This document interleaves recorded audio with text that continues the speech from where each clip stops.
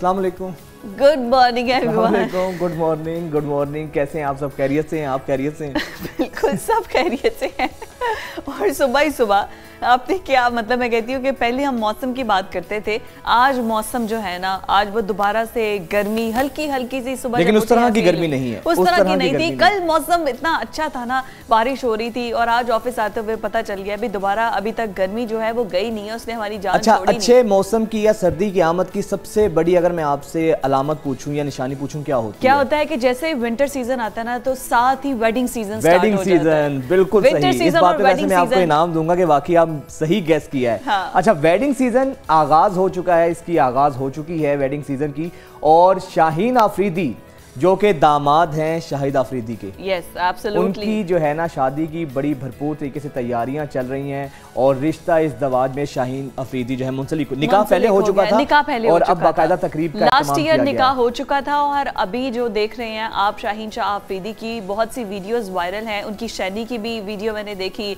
जिसमें वो अपने सुसर शाहिद आफरीदी अच्छा वैसे ये कितना अच्छा कॉम्बिनेशन है ना सुसर भी उतना हैंडसम है और नहीं ये पहला मेरा ख्याल से ऐसा रिश्ता है जिसमें सुसर जो है वो दामाद से ज़्यादा हैंडसम है और कम उम्र लगता है। कम उम्र और बड़ी ज़बरदस्त तकरीब हुई शाहीन शाह शाहीन की हवाले से जो शादी थी शादी थी। अच्छा फिर एक और जो पैगाम जो जेस्टर गया ना आपको याद होगा कि एशिया कप हारने के बाद ये खबरें आ रही थी कि ड्रेसिंग रूम में शायद शाहीन आफरीदी की और बाबर आज़म की बड़ी तल कलामी हुई हाँ, है मुँह मारी हुई है।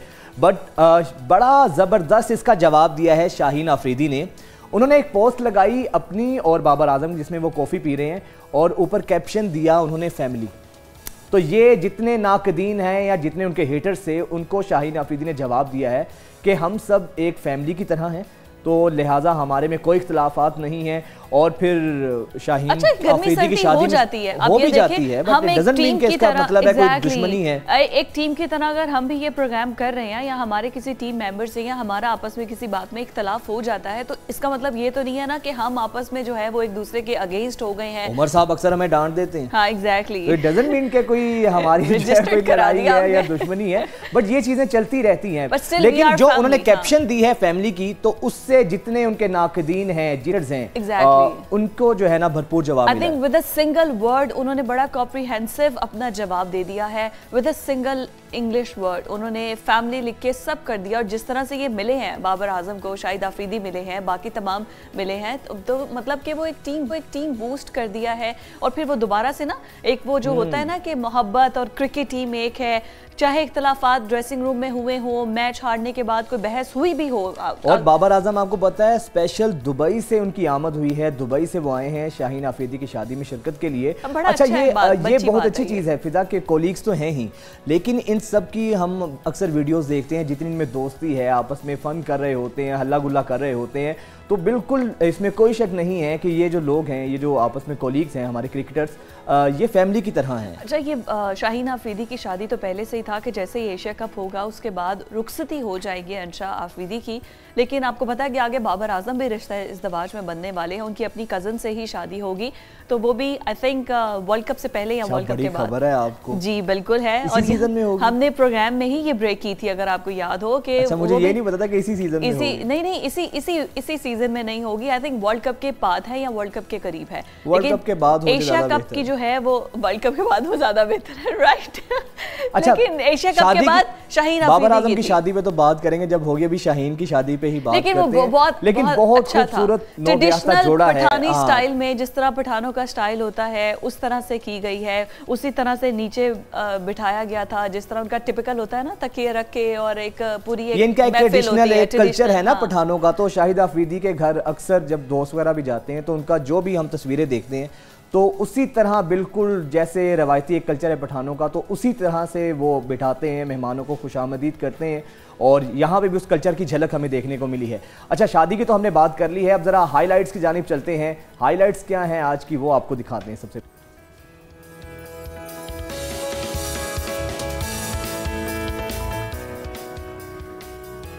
महँगाई से सेल्फ डिफेंस असासे और बचत की कुर्बानी।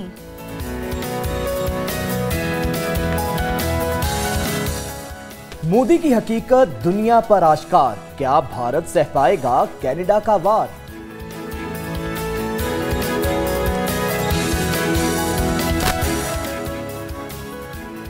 डिजिटल करेंसी मोईशत के लिए कितनी फ़ायदेमंद है?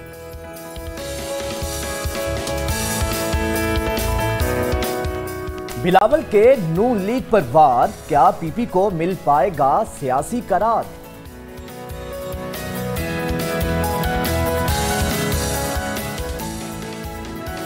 और पाकिस्तानी काहली में भी नंबर वन। इसमें तो वैसे कोई दो राय नहीं पाकिस्तान पाकिस्तानी काहली में वाकई ही नंबर वन है। आपको डाउट था वैसे? मुझे डाउट था। हमारे पाकिस्तानी बड़े टैलेंटेड हैं। कुछ परसेंटेज है। जब इनको मौका मिलता है तो दे परफॉर्म वंडर्स ऐसी बात हाँ ये ज़रूरी नहीं है कि अगर 99 परसेंट पाकिस्तानी हमारे काहिल हैं या सुस्त हैं तो इसका ये मतलब नहीं कि सारा पाकिस्तान सुस्त है। बिल्कुल ठीक बात है वैसे ये भी बट स्टिल आई थिंक लेकिन एक चीज़ है हमें अपॉर्चुनिटीज़ नहीं मिलती। अब ये बात नहीं है। अगर हमें पर कैपिटल इनकम हर हर इंसान को अच्छा मिले तो फिर किसी को क्या अच्छा, एक चीज़ है, है अगर हमारे पाकिस्तानी जब कुछ करने और कर गुजरने की ठान लेते हैं जब कमिटमेंट कर लेते हैं तो फिर उसको मनतकी अंजाम तक पहुंचाते हैं। हम्म। ये पाकिस्तानियों की एक खसूसियत है। हाँ अगर इनका पॉजिटिव माइंड चले ना तो ये वाकई ही में अपनी चीज़ों को जो है ना साबित करते हैं कि ये काहिल नहीं है। अच्छा दोबारा से बात करते हैं जरा एक दफ़ा फिर से हम बात करेंगे। रोज़ाना बात, बात करते हैं। महँगाई की हम बात कर रहे थे आपने काहिली और सुस्ती की बात ये की है। कि लोगों का जो इंटरेस्ट है ना वो ख़त्म हो गया है। वो क्यों ख़त्म हो गया जब उन्हें पता है कि सारा दिन पूरा महीना मेहनत करने के बाद उनके खर्चे बहुत ज़्यादा होंगे और उनके उनके जो आ, पैसे जो हैं जो उनको मिनिमम वेज मिल रहा है वो बहुत मिनिमम होगा। तो फिर आपका इंटरेस्ट खत्म हो जाता है। बच्चे पढ़ते नहीं हैं। बच्चों को पता है कि अगर पढ़ भी लिया तो उसके बाद हमें अच्छी जॉब्स अच्छा, नहीं मिलनी जिसकी वजह से गुर्बत और हम्म। महँगाई फिर इससे ज़्यादा बढ़ती है। जो सबसे अलार्मिंग फैक्टर है ना वो ये है कि मायूसी। मायूसी जब आ जाती है, मसलन आपके माइंड में जब आ गया है कि हम लोग मायूस हो गए हैं, अब कुछ बेहतरी की उम्मीद नहीं रहती है तो मायूसी जब दम तोड़ उम्मीद जब दम तोड़ जाती है तो उसके बाद फिर हालात बहुत ख़राब होते हैं, और अब हालात यहाँ तक ख़राब हैं, इस नहज तक ख़राब हैं कि लोग बेचारे अपने बिजली के बिल अदा करने के लिए मकरूज हो रहे हैं अपने असासे बेचने पर मजबूर हो गए हैं। बेशुमार खबरें ऐसी हैं जहाँ पर खातून ने खातन ने अपने सोने के जेवर बेचे हैं सिर्फ़ बिजली के बिल उतारने, उतारने के, लिए। के लिए आपकी बात ठीक है। मैं अपने व्यूवर से बल्कि सभी हम सब इस चक्की में पिस तो रहे हैं जो महँगाई की है। आप देखिए बाहर निकलिए आपको सड़कों पे उस तरह से रश नहीं आता। मैं आपको खुद बताऊँगी कि मैंने मैंने कि पाकिस्तान से जब मैं वापस आई मैं जब मुझे मेरे लिए एक बड़ा एक चेंज था क्योंकि हम्म। मैं जिस तरह से पाकिस्तान को छोड़ कर गई थी वापस आके फोर्ट्रेस गई वहाँ पर फोर्ट्रेस स्टेडियम खाली था शॉप्स खाली थी। कल मॉल में गई मॉल में मैंने शाम को देखा कि वहाँ पर मॉल खाली था वहाँ पर तिल धरने की जगह नहीं होती और वहाँ पर जो है वहाँ पर बिल्कुल खाली थी और जिससे पूछो वो कहते थे महँगाई का बुरा हाल है। 50 परसेंट सेवेंटी परसेंट सेल्स लगी हैं लेकिन लोग अच्छा, खरीद नहीं ऐसे पा रहे। में जो अहले खैर लोग हैं जो मुखैर हैं जो लोग अफोर्ड कर सकते हैं दूसरों को भी सोसाइटी की कलेक्टिव ज़िम्मेदारी आ जाती है कि अपने आसपास आजकल बेशुमार हमारे आसपास ऐसे लोग होते हैं जो बज़ाहिर हमारे साथ उठते बैठते हैं। और हमें यही नहीं पता होता कि इन बेचारों ने इनके घर में राशन भी है खाना खाया exactly. भी है या नहीं है क्योंकि सफ़ेद पोस्ट जो शख्स होता है इज़्ज़त नफ्स ही तो उसके पास होती है। हम्म। तो इसमें पूरी सोसाइटी की ज़िम्मेदारी है कि जो लोग इस्तात रखते हैं कि वो नज़र रखें हमारे आसपास हमारी फैमिली में हमारे दोस्तों में कोई ऐसे लोग तो नहीं हैं कि जो महरूम हो खाने पीने से। तो ये बड़ी ज़िम्मेदारी होती है। आ, इस वक्त हमारे साथ सारिम बर्नी साहब मारूफ समाजी वर्कर हैं सीईओ सारिम बर्नी ट्रस्ट और इसके अलावा मॉर्निंग सर जिस तरह अभी मैं और फिजा बात कर रहे थे कि हा, के हालात इस नहज तक पहुँच चुके हैं कि लोग अपने सिर्फ़ बुनियादी ज़रूरियात के लिए अपनी बिल्स अदा करने के लिए किसी का कर्ज अदा करने के लिए खातन अपने जेवर तक बेचने पर मजबूर हैं। तो सर इन हालात में आप क्या समझते हैं? क्या ज़िम्मेदारी है माशरे की जिनको अल्लाह ताला ने साहिब इस्तात बनाया है? देखिए बिल्कुल महँगाई तो हमेशा हम सुनते आए हैं। या पता नहीं हमारे कल्चर में थोड़ा सा इसमें बहुत ज़्यादा ज़ोर भी दिया जाता रहा हमेशा। हम्म। कभी हम मकसद कमाने की तरफ़ नहीं गए कि हम अपनी आमदनी को आगे बढ़ाएँ हम अपनी जो है ना सर्विसेज़ को बेहतर करें हम अपनी चीज़ों को बेहतर करें तो ये तो हम हमेशा सुनते आए लेकिन ये ज़रूर है कि अब ख़ास तौर पे 2018 के बाद जो हम सिचुएशन देख रहे हैं पाकिस्तान की वो काबू से निकलती चली जा रही है। वो इस कदर महँगाई हो गई है कि अब अफोर्ड करना वाकई नामुमकिन सा हुआ जा रहा है जो बड़ा तकलीफ़ दे अमल है। इस पर फौरी तौर पर इकदाम होने चाहिए। अगर हम बाहर के हवाले से देखें तो बाहर के हवाले से आज भी हमारे यहाँ हर चीज़ सस्ती मिल जाती है। लेकिन बाहर के हवाले से आमदनी नहीं है हमारे पास। अगर आमदनी वो हो मुल्क ये हो, ये हो रेट्स ये हो तो तो बेहतरीन है। लेकिन क्योंकि हमारे यहाँ बेरोजगारी है बहुत ज़्यादा फिर हमारे यहाँ अगर बेरोजगारी नहीं है तो अभी आप लोग भी ज़िक्र करें नाअहली हमारे ना अहल भी हैं, ऐसा नहीं है कि सारे अहल हैं। बेशक पाकिस्तानियों ने जा जा के दुनिया में कहाँ कहाँ क्या क्या काम किए क्या क्या तरक्याती काम किए, लेकिन हमारे यहाँ देखे, सारी क्रीम हमेशा निकलती चली गई है। आज भी लोग कहते हैं ना, पाकिस्तान, वज़ीर आज़म के उस बयान का भी मज़ाक उड़ाया था। मैं कहता हूँ, अगर ना अहल लोग पाकिस्तान से जा रहे हैं और वहाँ अहल बन रहे हैं तो बहुत अच्छी बात है। लेकिन अफसोस ये है कि पाकिस्तान से जाने वाले लोग अहल हैं। या अहल हैं, कोई टेक्निकल चीज़ें जानते हैं, या उनके पास पैसा था। दोनों सूरतों में ये पाकिस्तान के लिए नुकसानदेह चीज़ें जिसकी वजह से आए दिन आप देख रहे हैं, मसाइल के अंदर हम गिरते चले जा रहे हैं। पेट्रोल 300 हो गया, मैं कहता हूँ 600 कर दीजिए आप, लेकिन रोज़गार क्या है आपके पास? आपकी जो सैलरी पैकेज है, वो क्या है आपके पास? आप उन चीज़ों को भी अपग्रेड करिए। आज भी अगर कोई फंसा है, कोई मरा है, कोई परेशान है तो वो दो लोग हैं। एक वो जो सैलरी पे काम करने वाले लोग हैं दूसरा वो जो बेरोजगार था कहीं ना कहीं से अपना गुजर बसर करता था। बड़ी साहब आपने बिल्कुल ठीक बात बोली है कि सबसे ज़्यादा अगर किसी को फ़र्क पड़ा है ना क्योंकि दिहाड़ी बाज की तो कभी ऐसा होता है कि दिहाड़ी ज़्यादा लग गई कभी कम लग गई। जो फिक्स्ड अमाउंट वाले हैं ना खर्चे उससे कई गुना ज़्यादा बढ़ गए हैं। लेकिन जिनके जो फिक्स्ड अमाउंट है ना जो सैलरीज आ रही हैं वो उतने की उतनी है। अभी इसमें कलेक्टिव एफर्ट जैसे आप बर्नी ट्रस्ट के सीईओ हैं आप लोगों के वेलफेयर के लिए काम कर रहे हैं जो आसपास के लोग हैं उनको किस तरह से हम आ, मदद कर सकते हैं और जो उनको कन्विंस कर सकते हैं कि आप उन ऐसे लोगों की मदद करें? आई थिंक बर्नी साहब से हमारा रहा अच्छा और आपने मदद की बात की है फिजा मदद भी इस जाए कि, exactly, कि उनकी जो सेल्फ स्टीम है जो सेल्फ रिस्पेक्ट है वो भी कायम रहे और आप उनकी मदद करें। जिस तरह कहा गया ना कि नेकी का दरिया में डाल मतलब हम्म। पता ना चले कानों कान किसी को खबर ना हो। पता ना चले ना अगले की सेल्फ लोग जो चाहते भी हैं कि उनकी मदद की जाए लेकिन हमारे यहाँ मदद करने का भी अनफॉर्चुनेटली कुछ ऐसा तरीका कार बन चुका है कि फ़ोटो सेशंस होते हैं हम्म। तो वो जो सफ़ेद पोस्ट शख्स है वो बेचारा कतराता है हम्म। कि उसकी कोई तस्वीर ना आ जाए जो माशरे में उसका एक स्टेटस है जो आ, उसका एक भरम है वो ना टूट जाए तो ये सब चीज़ों का बड़ी बारीक बीनी से हमें ख्याल रखने की ज़रूरत है ऑटोमेटिकली पता चल जाता है कि बड़ी साहब अगर आपको मेरी आवाज़ आ, आ रही है तो प्लीज़ बताइएगा कि किस तरह से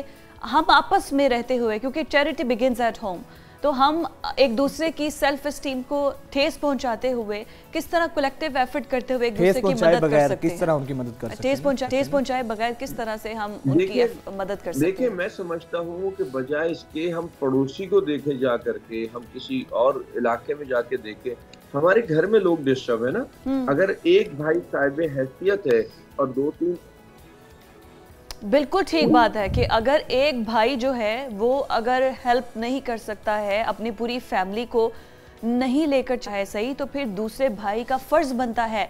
मैंने पहले बोला कि चैरिटी बिगेन्स एट होम कि आप अपने घर से सबसे पहले देखें।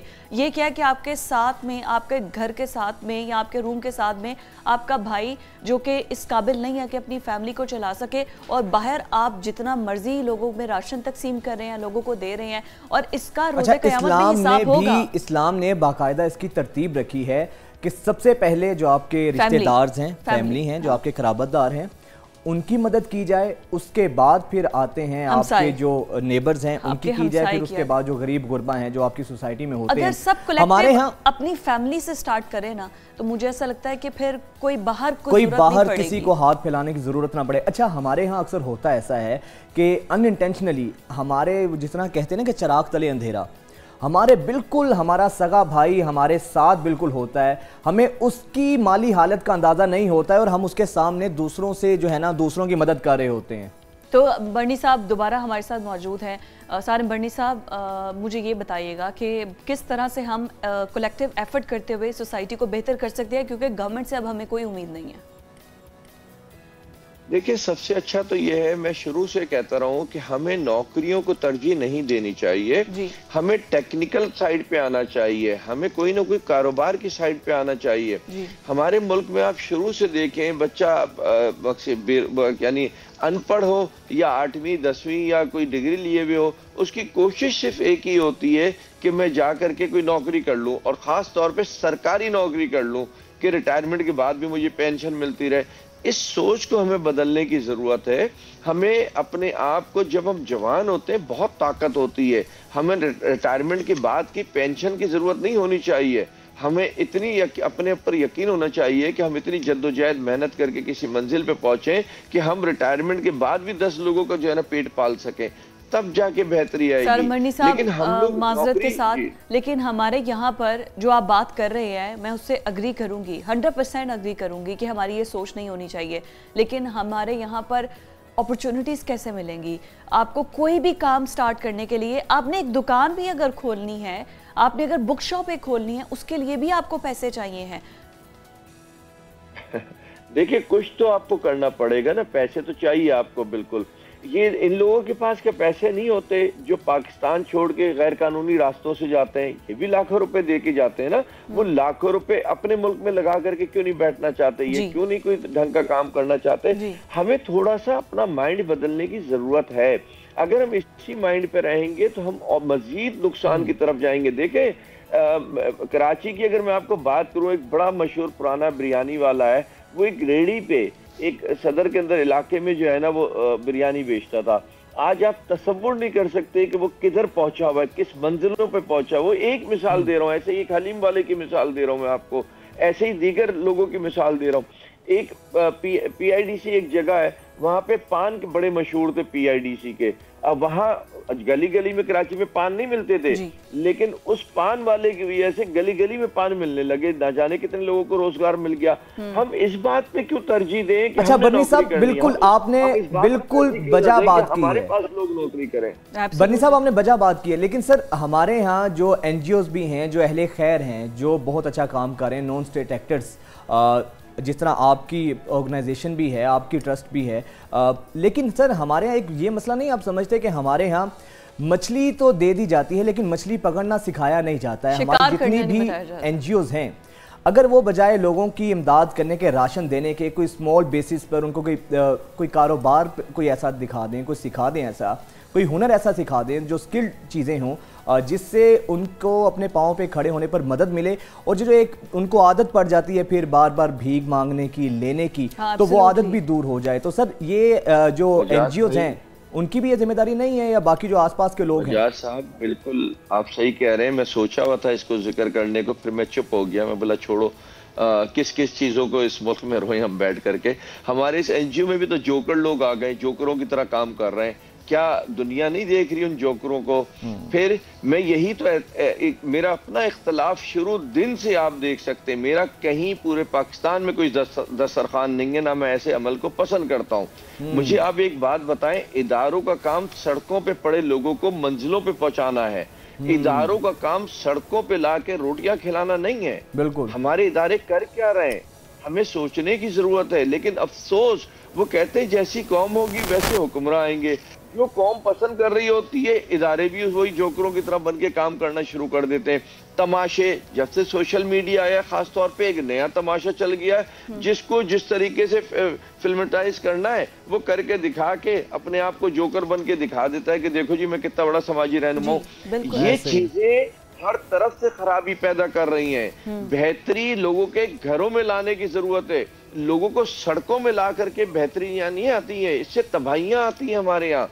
लेकिन हमारे यहाँ इदारे भी इसी में खुश है देने वाले भी खुश है और आवाम तो है ही खुश वो कहती है चलो कहीं ना कहीं से बैठे बैठे अच्छा इसकी ये भी तो वजह है ना कि उनको मेहनत की भी ज़रूरत नहीं पड़ती ना कोई ये बड़ा मुश्किल काम है हाँ। लोगों को स्किल तरफ़ लेकर आना बकरे का गोश्त दो हज़ार रुपए किलो है अगर आपको फुटपाथ पे बैठ के रोज बकरी का गोश्त खाने को मिल रहा है हाँ तो आप क्यों काम करके घर के अंदर दाल जा करके खाएँगे exactly. आप क्यों आप सब्ज़ी खाएँगे घर के अंदर जा करके? ये सोचने की ज़रूरत है।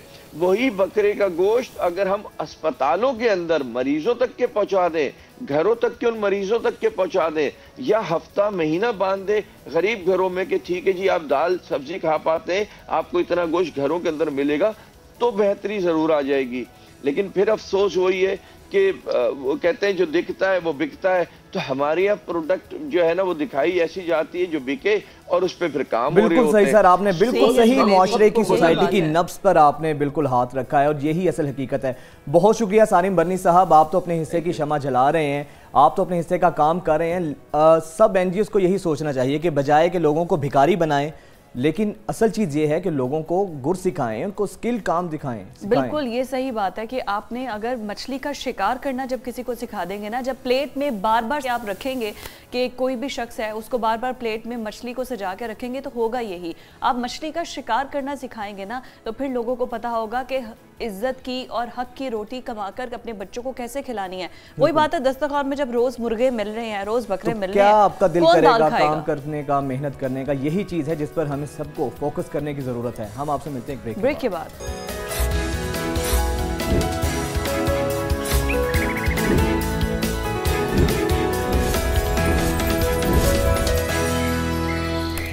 ब्रेक के बाद आपको खुश आमदीद कहते हैं और अभी बहुत ही अहम इशू पर हम बात करने जा रहे हैं। वो है डिजिटल करेंसी पाकिस्तान के अंदर इसको लीगलाइज नहीं किया जा रहा लेकिन पूरी दुनिया के अंदर डिजिटल करेंसी क्योंकि पेपर नोट्स का अब जो कारोबार है और जो लेन देन है वो तो बहुत ख़त्म होने के करीब पहुँच चुका है और आइंदा आगे आने वाले कुछ सालों में जो रेवोल्यूशन आएगी उसमें सब कुछ सब लेन देन होगा डिजिटल करेंसी अच्छा बल्कि बाकी जो बाहर के ममालिक है वहाँ पे ये रेवोल्यूशन आ भी चुका है। डिजिटल करेंसी पर बड़ी बड़ी तेज़ी से रिप्लेस कर दिया है डिजिटल करेंसी ने। और बास तो कंट्रीज़ ऐसी हैं जिनकी इकोनॉमी में बड़ा अहम रोल है डिजिटल करेंसी का। तो आप आप सुपर पावर अमेरिका को देख लें, आप इंग्लैंड को देख लें, आप बाकी तमाम मीशत को देख लें जो बड़ी बड़ी सुपर पावर्स हैं, वहाँ पर एक बहुत बड़ा एक जो रोल है, वो है इन डिजिटल करेंसी का। और डिजिटल करेंसी तकरीबन जो एक रिपोर्ट है, वो कुल मालियत की एक ट्रिलियन डॉलर है, जिसमें सबसे ज़्यादा है बिटकॉइन जो हम देखते हैं ना कि बिटकॉइन हम समझते हैं कि डिजिटल शायद बिटकॉइन ही जो है, वो सिर्फ़ एक डिजिटल करेंसी है। इसके अलावा यूएसडीटी हैं, बाकी तमाम कोइंस हैं जो कि आपको ख़रीदने पड़ते हैं कुछ डॉलर्स देकर जो भी उनकी अमाउंट होती है। तो बिटकॉइन जो है, वो तकरीबन तमाम डिजिटल करेंसी का 40 परसेंट है और तमाम ये जो रिपोर्ट सामने आई है, एक ट्रिलियन डॉलर जो है, वो तमाम जो इन्वेस्ट हुआ है, वो डिजिटल करेंसी में है। और अब पाकिस्तान के अंदर आपको ये बहुत अलार्मिंग है कि पाकिस्तान के अंदर इसको लीगलाइज नहीं किया जा रहा, जिसकी बहुत ज़्यादा ज़रूरत है। करेंसी को डिजिटलाइज करने के लिए। बिल्कुल ज़रूरत है और इसके हवाले से पाकिस्तान में बेशुमार लोग ऐसे हैं जो कि इसकी अहमियत पर डिजिटल करेंसी की क्रिप्टो करेंसी की अहमियत पर ज़ोर देते रहे वो कहते रहे हैं कि अगर इसको पाकिस्तान में लीगल कर दिया जाए और इसका अलाउ कर दिया जाए तो पाकिस्तान का ये जो कर्जा है ये भी उतर सकता है और पाकिस्तान की जो मुआशी हालत है वो बेहतर हो सकती है। इसी पर बात करने के लिए डिजिटल करेंसी का क्रिप्टो करेंसी का एक बड़ा नाम बल्कि पाकिस्तान में कहा जाए सबसे बड़ा नाम वकार जका जो कि टेक्नोलॉजी मूवमेंट पाकिस्तान के चेयरमैन भी हैं वो हमारे साथ मौजूद हैं अब तो इंटरनेशनली बड़े रिनाउंड हैं बड़े रिनाउंड हैं वकार भाई सबसे पहले तो वेलकम टू न्यूज़ मॉर्निंग और बहुत मुबारक हो जिस तरह आपने बिटकॉइन वर्ल्ड कप में क्वालिफाई किया है और आपको बड़ा इनाम भी मिला है और पाकिस्तान का नाम आपने दुनिया में रोशन किया है। दुनिया भर से फिजा जो करेंसी जो क्रिप्टो एक्सचेंजेस थी उन्होंने एक मुकाबला किया और उस कंपटीशन में उसका वर्ल्ड कप जो था क्रिप्टो का डिजिटल करेंसी का बिटकॉइन का वर्ल्ड कप तो उसके अंदर वकार जका ने जो है ना सबको मात दी है। जी। तो पाकिस्तान में भी ये बड़ा नाम है अब तो माशाल्लाह ग्लोबली इनकी पहचान हो गई है। वकार पाकिस्तान की तरफ़ से एक यही तो थे जो कि रिप्रेजेंट कर रहे थे पाकिस्तान एक यही नहीं है ही एक यही ना। बाकियों को तो शायद लोग इन भी ना करना आता। वकार भाई सबसे पहले तो बहुत मुबारक हो। कैसा फील हो रहा है आपको इस वर्ल्ड कप में जीतने पर इसको क्वालिफाई करने पर? बसमीम बहुत बहुत शुक्रिया। पहले तो बुलाने के लिए, और ये बिटकॉइन का लेवरेज ट्रेडिंग का मुकाबला था, यानी फ्यूचर ट्रेडिंग का मुकाबला था, और ये डेमो ट्रेडिंग बेसिकली इसे कहा जाता है। और इसके अंदर मेरी जेब से कोई पैसे नहीं लगते, वो जो टूर्नामेंट ऑर्गेनाइज करवाते हैं, वो आपको पैसे देते हैं, और आपको उसके ऊपर ज़्यादा प्रॉफिट बनाना होता है बिटकॉइन पे ट्रेडिंग करके। और ये सबसे रिस्की होता है, क्योंकि लेवरेज ट्रेडिंग जो है वो बहुत रिस्की एक समझी जाती है। लास्ट ईयर मैं फोर्थ नंबर पे था, उससे पहले मैं आई थिंक सिक्स नंबर पे था लेकिन इस दफ़ा जो है अल्लाह ताला के हुक्म से और लोगों की सपोर्ट की वजह से पहले नंबर पे आया हूँ। मुझे बड़ी खुशी है कि पाकिस्तान से रिप्रेजेंट कर रहा था जी। थैंक यू सो मच भाई कितने कंटेस्टेंट थे जिनको आपने पिछाड़ा है? कितने लोग थे दुनिया भर से और सारे क्रिप्टो के एक्सपर्ट थे जिनको आपने शिकस्त दी है?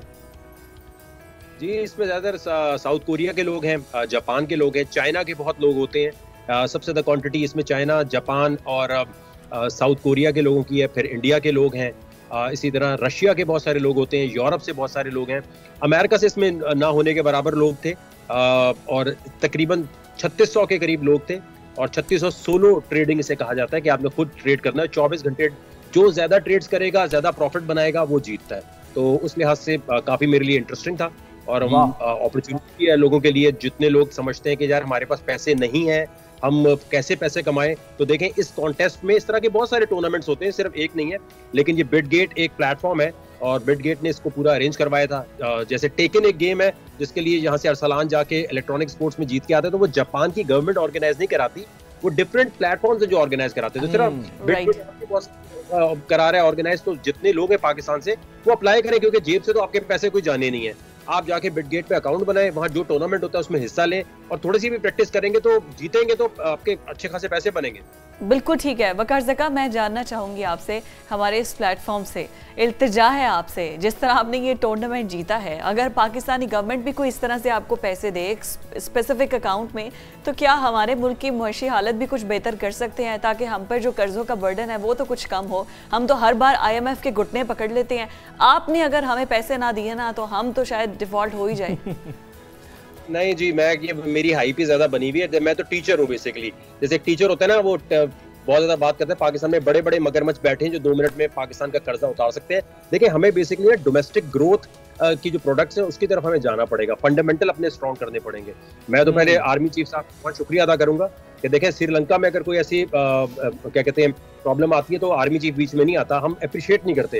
ये मनी एक्सचेंजर के खिलाफ जो क्रैकडाउन किया है, जिस तरीके से उन्होंने एक कहते ना, एक आईसीयू में पाकिस्तान था तो वहाँ पर एक इंजेक्शन लगा के थोड़ा सा डॉलर को नीचे लाए और मैं भी बता रहा हूँ, जितने लोग डॉलर लेके बैठे हैं, ये 260 पे जा रहा है डॉलर ये सब आपका जो है ना, चक्कर खराब हो जाएगा। लेकिन अहम बात है कि अब 260 तक तो ये डॉलर आ जाएगा। इसमें आर्मी जो कुछ अपना रोल प्ले कर सकती थी वो कर दिया लेकिन कितने टाइम के लिए आएगा ना? ये बात तो ये है अगर एक मसनू उसको नीचे लेकर आना है तो फिर तो वो कोई फ़ायदा ना हुआ दो महीने के लिए तीन महीने के लिए।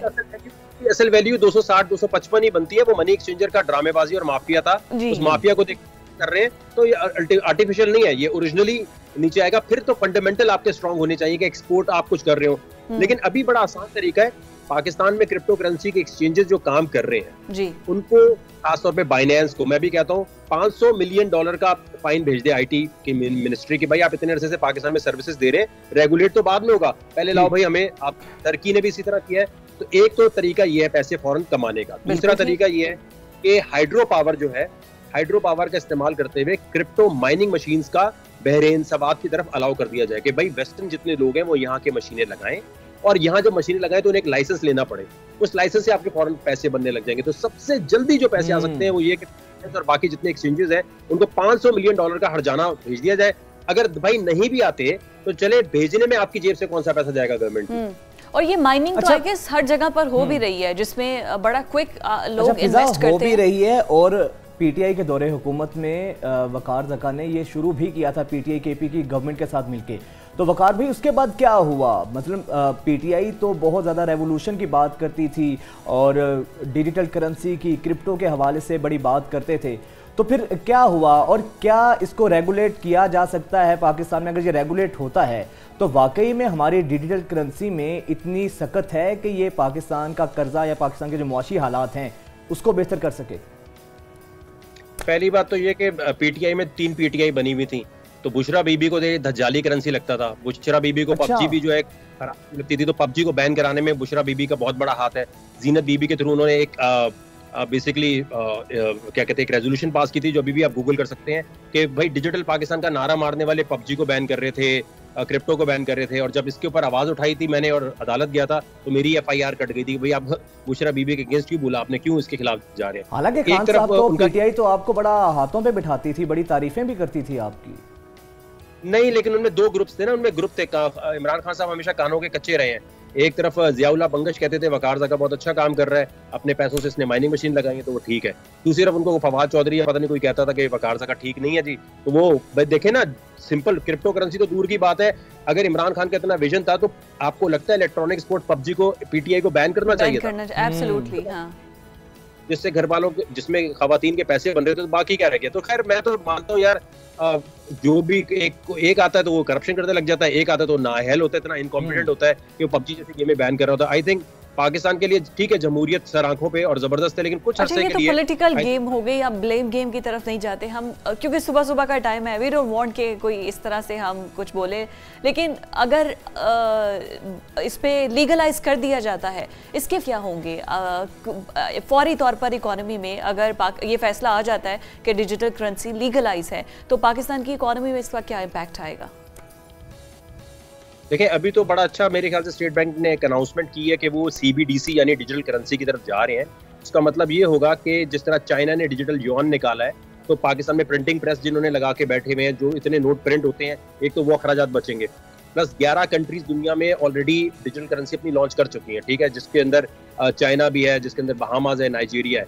इसको रेगुलेट करने का सिर्फ़ एक तरीका है कि पाकिस्तान अपना क्रिप्टो करेंसी एक्सचेंज निकाले, जो हम ऑलरेडी बनाकर दो तीन दफ़ा प्रेजेंट कर चुके हैं। वो एक्सचेंज निकाल कर अनाउंस करे जी जिसने भी क्रिप्टो करेंसी पर ट्रेडिंग करनी है वो पाकिस्तान के इस एक्सचेंज पर करे। तो सारी दुनिया के लोग इस पर ट्रेड करेंगे। जो उसकी फ़ीस है वो फ़ीस कट के हुकूमत को मिलने लग जाएगी। एक तरीका ये है।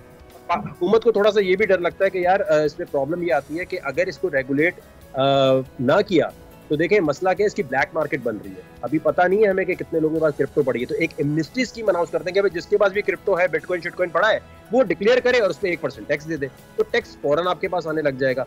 अभी हम्म। सबसे बड़ा जो चक्कर है पाकिस्तान में वो ये है कि यहाँ लोगों को ये अंदाज़ा नहीं हो रहा या गवर्नमेंट को ये अंदाज़ा नहीं हो रहा कि कितनी ज़्यादा इंपॉर्टेंट चीज़ है कि इंडिया इसमें लीड कर रहा है। जी ट्वेंटी में इंडिया ने मोदी साहब ने सबसे ज़्यादा बोला जी कि डिजिटल करेंसी और क्रिप्टो करेंसी को रेगुलेट करने के लिए आईएमएफ जो कह रहा है, उस तरह करते हैं। देखें इंडिया इसमें लीड ले जाएगा। जब इंडिया कर जाएगा, उसके बाद अगर हम करेंगे तो देखें एक बहुत बड़ी मार्केट वो कैप्चर कर चुका होगा। मेरे ख्याल से डिजिटल करेंसी लॉन्च करने की जो बात अभी कर रही है स्टेट बैंक वो तो ठीक है।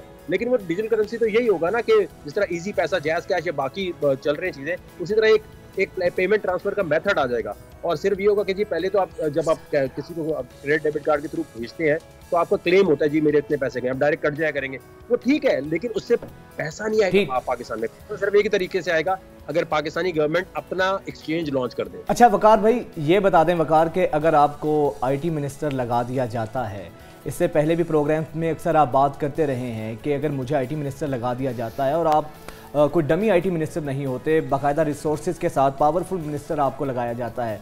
तो आप किस तरह इसकी रेगुलेशन हो भी जाती है, अगर रेगुलराइज हो भी जाती है डिजिटल करेंसी तो आपका जो पहले भी दावा था, वाकई में इससे हमारी इकोनॉमी ठीक हो जाएगी, मुल्क को कर्ज फ्री कर सकते हैं आप। इतनी कैपेसिटी है इस डिजिटल करेंसी में क्रिप्टो करेंसी में? आई थिंक आईटी मिनिस्टर ने कम से कम प्राइम मिनिस्टर से बात शुरू होगी तो होगा जब तक पॉलिसी मेकिंग जब तक कैबिनेट ही मेरी पूरी नहीं होगी तो कैसे हो सकता है कि मैं वो लॉ पास हो जाए?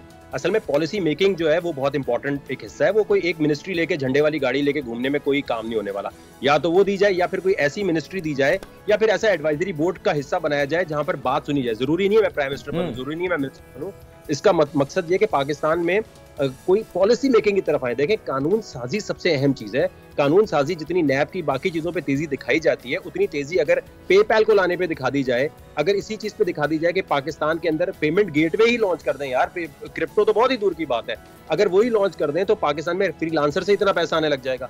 यहाँ पर देखें अभी ना हम अभी तक अमेजोन का ऑफ़िस नहीं यहाँ पर बना सके। पिछले दो साल से ये खबरें हम दे रहे हैं अच्छा फिर एक चीज़ ये भी है ना फिजा के जो इसके नाकिद हैं जो इस पे ऑब्जेक्शन लगाते हैं वो ये कहते हैं कि पता नहीं अगर डिजिटल करेंसी लीगलाइज हो जाती है तो जो काला धन है वो सफ़ेद धन जो है ना उसकी बजाय काला धन जो है वो बिकने लगेगा। इसके अंदर दो नंबरी होगी पैसा मनी लॉन्ड्रिंग होगी क्या कुछ चीज़ें इसके बारे में कही जाती है? मैं आपको एक चीज़ क्लियर कर देता हूँ।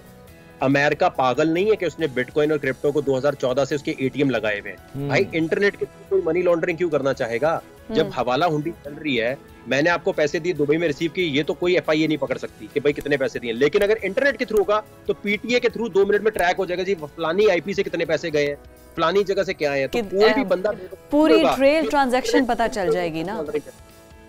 वो मनी ट्रेल सामने आ जाएगी ब्लॉक अच्छा देखें ब्लॉकचेन टेक्नोलॉजी नॉर्मल अल्फाज में इंटरनेट पर जैसे ही लॉग इन करते हैं आपके फुटप्रिंट्स आ गए वहाँ पर। आपको पीटीए ट्रैक कर सकता है आपको पूरे इदारे ट्रैक कर सकते हैं। बहुत सारी कंपनीज़ ऐसी जिनको आप पैसे दें तो अभी बता सकती है कि पाकिस्तान में किसके पास कितनी क्रिप्टो पड़ी है। हम्म। ये तो बहुत आसान तरीका है। तो कोई भी बंदा इसके थ्रू काला धन सफ़ेद करने की कोशिश नहीं करेगा इसमें तो पकड़े जाएँगे। तो ये बात बिल्कुल ही है वरना अमेरिका 9/11 के बाद कोई ऐसी चीज़ अलाउ नहीं करता। एफएटीएफ कहता कि भाई इसको परमानेंट बैन करो। एफएटीएफ कह रहे इसको रेगुलेट करो। जी ट्वेंटी में कह रहे हैं रेगुलेट करो। आईएमएफ कह रहे रेगुलेट करो। वो ये क्यों नहीं कह रहे कि भाई इसको बैन किया जाए जो इस्तेमाल करे उसे सजा दी जाए। बिल्कुल, ठीक है बिल्कुल ठीक है। बहुत शुक्रिया वकार जका हमारे साथ मौजूद थे और उन्होंने बिल्कुल ठीक बात बोली है कि अगर किसी चीज़ से हमें फ़ायदा हो रहा है पाकिस्तान की इकोनॉमी बेहतर हो सकती है तो वाई नॉट उसको लीगलाइज किया जाए। अब अगर उसके बाद कॉन्सिक्वेंसेज ये आते हैं आपने हर चीज़ तो डिजिटलाइज कर दी। नादरा डिजिटलाइज है आपका। आपने हाँ। कोई भी एडमिशन लेना है आपने सब कुछ ऑनलाइन करना है आपने अपना बिल जमा जब करवाना है वो भी आपने ऑनलाइन करना है। आप ऑनलाइन शॉपिंग तक कर सकते हैं तो फिर आप इस चीज़ को क्यों अच्छा, बड़े बड़े ममालिक अमेरिका, टर्की और ऐसे जो बड़े ममालिक है तरक्की याफ्ता, वो अगर इसको रेगुलराइज कर सकते हैं तो हमें करने में क्या कबाहत है, क्या मसला है? हाजिर होते हैं ब्रेक के बाद।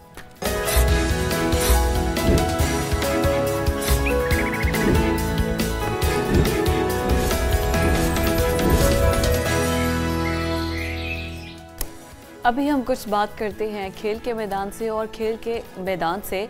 बड़ी एक कोई तहलका खेस खबरें ये आ रही हैं कि दोबारा से मैच फिक्सिंग का सिलसिला शुरू हो चुका है और ये इल्ज़ाम कोई टीम मीडिया पर जो लगा रहा है, वो आईसीसी की जानब से लगाया गया है कि दुबई के अंदर जब टी टेन लीग हुई है उसमें मैच फिक्सिंग की गई है, बाकायदा शवाहद मिले हैं, जिसमें बैटिंग कोचेस शामिल हैं, जिसमें प्लेयर्स शामिल हैं, जिसमें बांग्लादेश के कुछ प्लेयर्स शामिल हैं। इसके अलावा जो स्टाफ होता है, बाकी क्रू मेंबर्स होते हैं, वो इस मैच फिक्सिंग में शामिल हैं। अब आईसीसी की जानब से बाकायदा तौर पर इन्वेस्टिगेशन ओपन कर दी गई है। बिल्कुल, इसी पर बात करेंगे स्पोर्ट्स एनालिस्ट चौधरी अशरफ साहब मौजूद है, जिनकी इस तमाम तर मामले पर नज़र है, बड़ी गहरी नज़र रखे हुए हैं।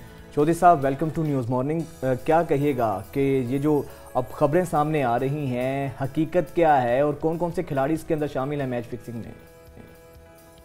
मुजाहिद जिस तरह क्रिकेट बहुत ज़्यादा फैल चुकी है और आपको पता है टेस्ट के बाद वनडे आई वनडे के बाद टी ट्वेंटी आई और टी ट्वेंटी के बाद अब टी टेन लीग का भी आगाज़ हो चुका है हम्म। और दुनिया भर में ये क्रिकेट के मुख्तलिफ़ फॉर्मेट खेले जा रहे हैं। जैसा अभी कराची में ओवर फोर्टी जो उम्र के उनका एक टूर्नामेंट हो रहा है। तो ये आईसीसी के लिए बड़ा मुश्किल होता जा रहा है कि ये जो इन मैचेस पर वो नज़र रखे। उनका एंटी करप्शन यूनिट जो है वो इन पर नज़र रखे। लेकिन अभी on the behalf of ECP जो अमेरिकन यानी एमरेट्स क्रिकेट बोर्ड है, उसकी बिहाफ पर आईसीसी एंटी करप्शन यूनिट ने वहाँ पर तहकीकात का आगाज़ किया है और उसी तहकीकात के आगाज़ में जो इब्तदाई तौर पर दो जो टीम ऑनर्स हैं उनको और उसके साथ साथ छः प्लेयर्स को मअतल किया गया है। और ये बड़ी अनफॉर्चुनेट है कि वर्ल्ड कप से पहले ऐसे स्कैंडल को मंजर आम पर लाना और ये, ये, ये बहुत सारे सवाल पैदा करता है।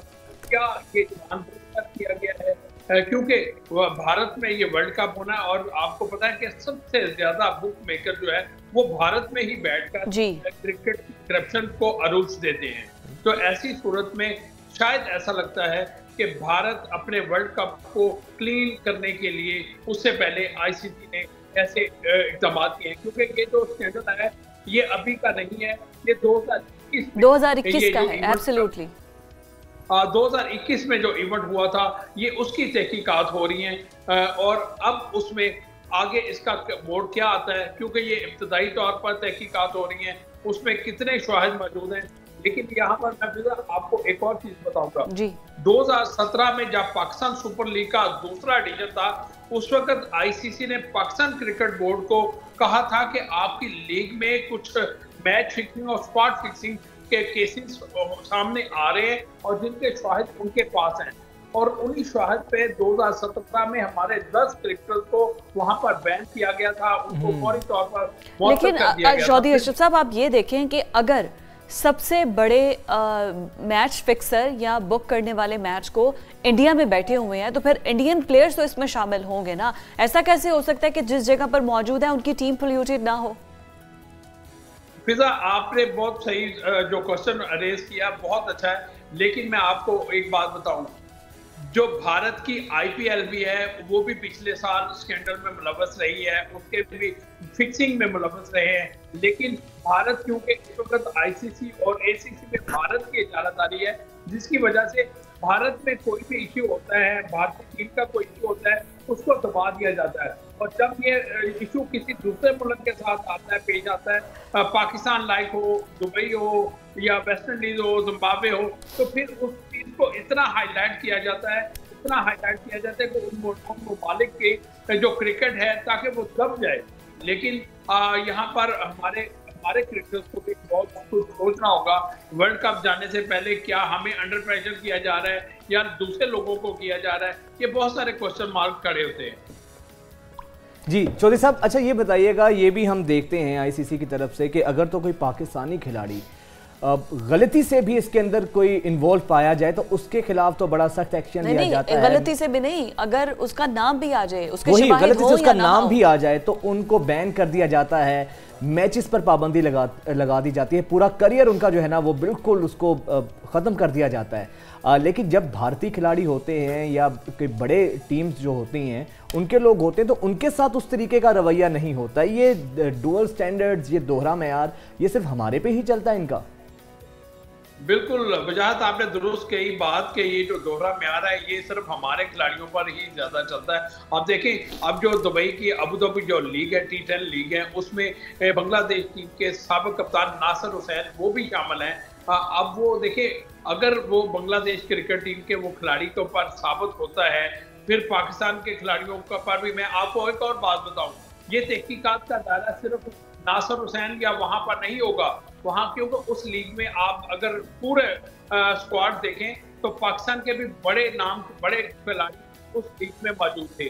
तो अब आईसीसी कोशिश करेगा कि उन पर भी किसी ना किसी तरह उन पर इल्ज़ाम तराशी करे और उनको भी इस स्कैंडल में शामिल करने की कोशिश करे।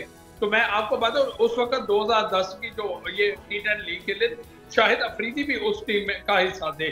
स्क्वाड का यानी कि उस लीग का हिस्सा थे उस का तो नहीं उस लीग का हिस्सा तो ऐसी सूरत में जब हमारे प्लेयर्स वहाँ पर उस लीग में हिस्सा थे तो ये ना हो कि आईसीसी अपना दायरा का या उनका जो है वो पाकिस्तानी खिलाड़ियों को मुलवस करने या उनको उसमें शामिल करने के लिए कोई ऐसी चाल चल जाए। लेकिन मेरा ख्याल है कि पाकिस्तानी खिलाड़ियों ने ऐसा कोई काम नहीं किया होगा कि वो उनको शामिल किया जाए। लेकिन ये तहकीकात का दायरा ज़रूर वसी होना चाहिए कि इसमें कौन लोग मुलवस हैं और उन लोगों को करार वाकई सजा दी जानी चाहिए। क्योंकि खेल, अगर क्रिकेट में करप्शन होगी तो इससे खेल को नुकसान होगा।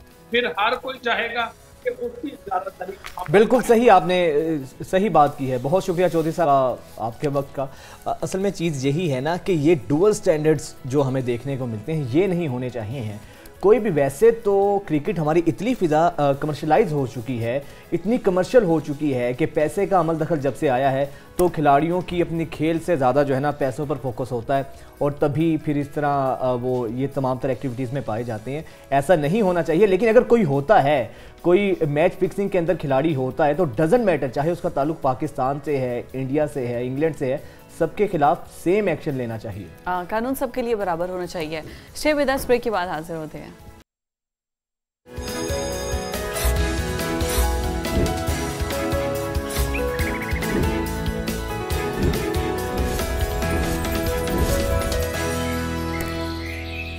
लीजिए कुछ बात कर लेते हैं। अब हम इकोनॉमी की और हमारी इकोनॉमी की सिचुएशन ऐसी है कि अभी अभी एक ख़बर सामने, अभी बल्कि थोड़ी देर पहले आप सुन रहे थे कि बिजली को मज़ीद एक रुपया कुछ पैसे बढ़ाया गया है पर यूनिट।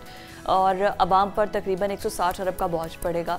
ये तो खबर एक तरफ़ रही। दूसरी तरफ़ ये अब आईएमएफ ने फौरी तौर पर कहा है कि आपने गैस की कीमतों में रद्दोबदल करना सर्दी है जो आ रही है। एग्जैक्टली exactly, अब आपने करना है गैस की कीमतों में इजाफा। अगर आप इजाफा करेंगे तो ही आप जो आप अपना जो टैक्स है उसको भी इकट्ठा कर सकते हैं और उसके बाद आप अपनी इकोनॉमी को भी बेहतर कर सकते हैं। तो सारा बोझ पड़ेगा अवाम पर। मिलने को आपको गैस नहीं मिलेगी सर्दियों में लेकिन जितनी थोड़ी बहुत थोड़ी बहुत जो दस्तियाब होगी ना जिसमें आप अपना नाश्ता या आप अपना खाना जो बना सकेंगे दोपहर का जो दो घंटे दस्तियाब होगी आपको उस पर भी आपको भारी भरकम अच्छा लोग ना ये दुआएँ कर रहे थे कि शुक्र है अब जरा गर्मी गई है बिजली के बिल से हमारी जान छूटेगी सर्दियों में थोड़ा रिलीफ मिलेगा। लेकिन आ, हमारे हुक्मरान बड़े समझदार हैं। उन्होंने कहा है कि अब बिजली की जगह गैस ज़्यादा यूज़ होगी और अब जो गैस की कीमतों में 40 से 50 फ़ीसद इजाफा हो सकता है। जिस तरह पूरी गर्मियाँ हमारा बिजली के बिल्स की टेंशन और परेशानी लेते हुए गुजरी है अब सर्दियाँ आ गई हैं तो गर्मी से जान छूटेगी बिजली के बिल से जान छूटेगी तो गैस का बिल जो है ना तो गैस आती है सर्दियों में। बाहर से खाना मंगवाना पड़ेगा वो अलग से खर्चा है फिर गैस महँगी हो रही है। तो ये सारा बोझ गरीब आवाम पर ही क्यों पड़ता कभी कभी है? हमें किसी एक सरकारी मुलाजिम किसी सरकारी वज़ीर का किसी की तनख्वाहों से कटौती हुई हो किसी के कोई अयाशियाँ शाह खर्चियों में कमी हुई हो किसी ने अपनी मराद कम की हो वो सब अयाशियाँ शाह खर्चियाँ उसी तरह जारी है। तो बर्फ़ गिरती है तो बेचारे मुसलमानों पर तो गरीबों पर बर्क गिरती है और सारा नजला आवाम को ही निचोड़ के निकाला जाता है। डॉक्टर हसनैन जावेद साहब। हाँ हमारे साथ मौजूद हैं इकोनॉमिस्ट हैं उनको प्रोग्राम में शामिल करते हैं। डॉक्टर साहब बहुत शुक्रिया आपके वक्त के लिए। कहिएगा कि अभी हमारे पर बिजली का जो कीमत है, उसका भी इजाफा, पेट्रोल तीन सौ बत्तीस रुपये का हो चुका है, उसका भी बोझ हमने बर्दाश्त किया है। फिर उसके बाद अभी गैस में 40 से 40 से 50 फ़ीसद इजाफा होने जा रहा है। आप हमेशा बड़ा दबंग बोलते हैं तो मुझे ये बताइए कि अभी केयर टेकर सेटअप के अंदर मज़ीद हमें कितनी महँगाई का बोझ उठाना पड़ेगा? आगे क्या बुरी खबरें हैं मज़ीद इकोनॉमी के हवाले से? और कहीं पर कोई रिलीफ आवाम को या इलेक्शंस के बाद भी कोई रिलीफ नज़र आ रहा है आपको? सबसे पहले तो बात यह है कि केयर टेकर सेटअप ही हमारे ऊपर मीशत के ऊपर पाकिस्तानी आवाम के ऊपर बहुत बड़ा बोझ है। यानी सारे बोझ के अलावा हमें तो अभी स्टेट ओन इंटरप्राइजेस जो हैं उनसे नहीं निकले। स्टेट ओन इंटरप्राइजेस का मैं इसलिए ज़िक्र करना चाहता हूँ ताकि आपको पता चले कि पीआईए के ऊपर जितना बड़ा कर्जा है और उसके तकरीबन 27 जहाज़ों में से अब छः और नहीं चल रहे, तकरीबन 21 और अब 19 के ऊपर वो रह गए। इसी तरीके से बाकी स्टेट ओन इंटरप्राइजेस यानी जो हकूमती हकूमत जिन कंपनियों को चला रही है, उसके ऊपर भी वो खर्चा इतना ज़्यादा है यानी 2.7 ट्रिलियन का। इसी तरीके से जब ये केयर टेकर गवर्नमेंट्स आती हैं तो इनका इतना बड़ा हजम जो होता है, वो भी आपके गरीब मुल्क को सहना पड़ता है, जबकि पूरी दुनिया के अंदर केयर टेकर का कोई कॉन्सेप्ट नहीं है। भारत ने इसको ठुकरा दिया बांग्लादेश ने इसको ठुकरा दिया, किसी भी महसब माशरे के अंदर अब केयर टेकर गवर्नमेंट्स नहीं यूज़ होती। केयर टेकर गवर्नमेंट सिर्फ़ हमारे पास यूज़ होती है कि तीन महीने के लिए, भाई बच्चा कुचा पाकिस्तान खा लो। आओ मेरे बच्चों पाकिस्तान को खाओ। हम्म। तो ये वो लोग हैं जो कि अभी इसी तरीके लगे हैं। आप खुद अंदाज़ा लगाएँ कि नवाज़ शरीफ साहब के जो आदमी थे जो हैं वो क्या नाम है फवाद हसन फवाद हसन फवाद। ये प्रिंसिपल सेक्रेटरी फवाद हसन फवाद थे प्रिंसिपल सेक्रेटरी अब उनको सारा कुछ पता है। फाइलें उनकी हैं क्लियर उन्होंने करना है। नवाज़ शरीफ के केसेस सारे के सारे क्लियर करने के मामला वैसे तो ऑल सेट है। यानी नवाज़ शरीफ आएँगे, उनको रिलीफ मिल जाएगा क्योंकि उन्होंने सारे मामला की सेटिंग कर ली है डील तय। तो जब डील तय हो गई तो बाकी मामला रहा क्या? अब आवाम को ये सवाल पूछना है कि नवाज़ शरीफ साहब से के लेने देने से उनकी गैस पर, उनकी बिजली के ऊपर, उनकी पेट्रोल के ऊपर तो कोई फ़र्क नहीं पड़ना। यानी आप हम्म। यूँ अंदाज़ा कीजिए कि इधर से आपकी एक चीज़ कम करते हैं उधर आपकी बिजली बढ़ा देते हैं। हम्म। अच्छा अगर बिजली का यूनिट कम करेंगे तो आपकी गैस बढ़ा देंगे। यानी इसको कहते हैं माशी वट्टा सट्टा। समझ रहे हैं? हाँ बिल्कुल ठीक है। बिल्कुल ऐसे ही है। अच्छा ये माशी वट्टा सट्टा इस तरीके से है तो मैं आपको चंद प्राइसेस भी बता देता हूँ कि ओवरऑल इंटरनेशनल प्राइसेस के अंदर जो है वो चेंज आता है।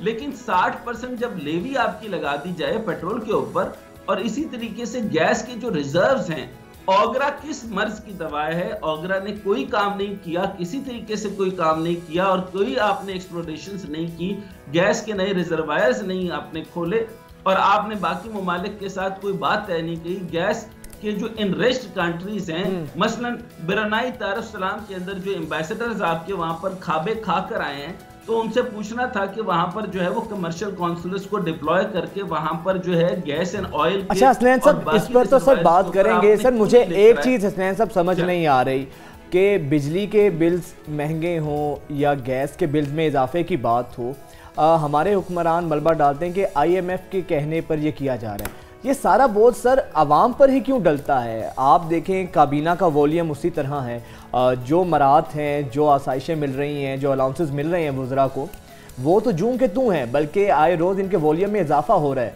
तो वहाँ पर आईएमएफ नहीं एतराज़ करता कि आप आवाम पर, गरीब लोगों पर ही सारा मलबा डाल रहे हैं। ये तो बड़ा ईजी काम है टैक्सेस लगाकर अपना रिकवरी करें। अपनी तो चीज़ें इनकी उसी तरह चल रही हैं। आपके सवाल बड़े ही शानदार होते हैं। मैं अभी एक तरह बिल्कुल कंसाइज से जवाब देने की कोशिश करता हूँ। आप ये समझिए कि बिल्कुल आईएमएफ ने बड़े क्लियर कट लफ्ज़ों में कहा है और आपने उनकी जो सेंट्रल ऑफ़िस की एक खातून थी उन्होंने जवाब देते हुए कहा कि आप सारा बोझ जो है वो रिवर्ट करें जो है अशराफिया एलीट क्लास पे एलीट क्लास के ऊपर आप जो है वो जो इस केडर से ऊपर है यानी फला बिलियन डॉलर से ऊपर की जो रिज़र्व से कमा रहे हैं उन लोगों के ऊपर इस चीज़ को डालें उनकी टैक्सेशन बढ़ाइए उसको तीन से छह परसेंट कर दीजिए बाकी मामला के ऊपर लगा दीजिए लेकिन गरीब के ऊपर से जो है वो टैक्सेस और उनके ऊपर से बोझ खत्म करें। हम्म। अच्छा ये इंस्ट्रक्शन होती है आईएमएफ की। बिलीव इन मी ये इंस्ट्रक्शन लेकर जब वो इधर आते हैं तो यहाँ पर आकर रिवर्स कर देते हैं और इसको कहते हैं हुकूमी हुकूमती अखराज ये हुकूमती अखराज 2018 के बाद से सिर्फ़ 40 करोड़ रुपए कम हुए थे, जिनका नाम अब आप नहीं दे सकते। उस दौर के अंदर कम ज़रूर हुए थे और उसी दौर के अंदर ये मामला हुआ था। लेकिन अब जो है, ये गाड़ियाँ भी दी गई, जाते हुए मियाँ नवाज़ शरीफ साहब ने ये जो शहबाज शरीफ साहब ने तकरीबन हर आदमी को पर डे सात हज़ार एक सौ इक्कीस यानी बाईसवें ग्रेड के अफसर से लेकर इसी तरह केडर वाइज एक सौ एक हज़ार समथिंग के ऊपर जो है वो उन्होंने जो है वो पर डे बोनसेस और फ़ायदे देकर गए। यानी ये उन्होंने तरीका कार बना दिया कि अगले इलेक्शन लड़ने हैं तो सारे हकूमती लोगों को जो हुकूमत के दामाद हैं हालाँकि होना चाहिए कि हुकूमत का साइज़ और हुकूमत के मुलाजमीन कम से कम होना चाहिए। आप मुझे बताइए कि आप जो शिफ्ट लेते हैं सारा दिन जब आप काम करते हैं आपको सर खुजाने की भी फुर्सत मिलती है। अब चलते चलते आप लोग चाय पीते हैं चलते चलते कॉफ़ी पीते हैं चलते चलते सारा कुछ करते हैं। जरा आप मेरे साथ किसी दिन एक काम कीजिए। मेरे साथ मैं आपको चंद हुकूमती क्योंकि मैंने बहुत हुकूमतों में काम किया तो मैं आपको Pakistan Pakistan industrial technical assistant centre ले जाता हूँ। सुबह आठ बजे तो सारे सो रहे होते हैं। बारह बजे के करीब आते हैं। कई चाय फड़काते हैं फिर खाना खाते हैं और घर चले जाते हैं। उसी के दौरान जो है वो सरकारी पेट्रोल के ऊपर जाकर के जो है बच्चों को लाते हैं। ये तो रहा यहाँ पे।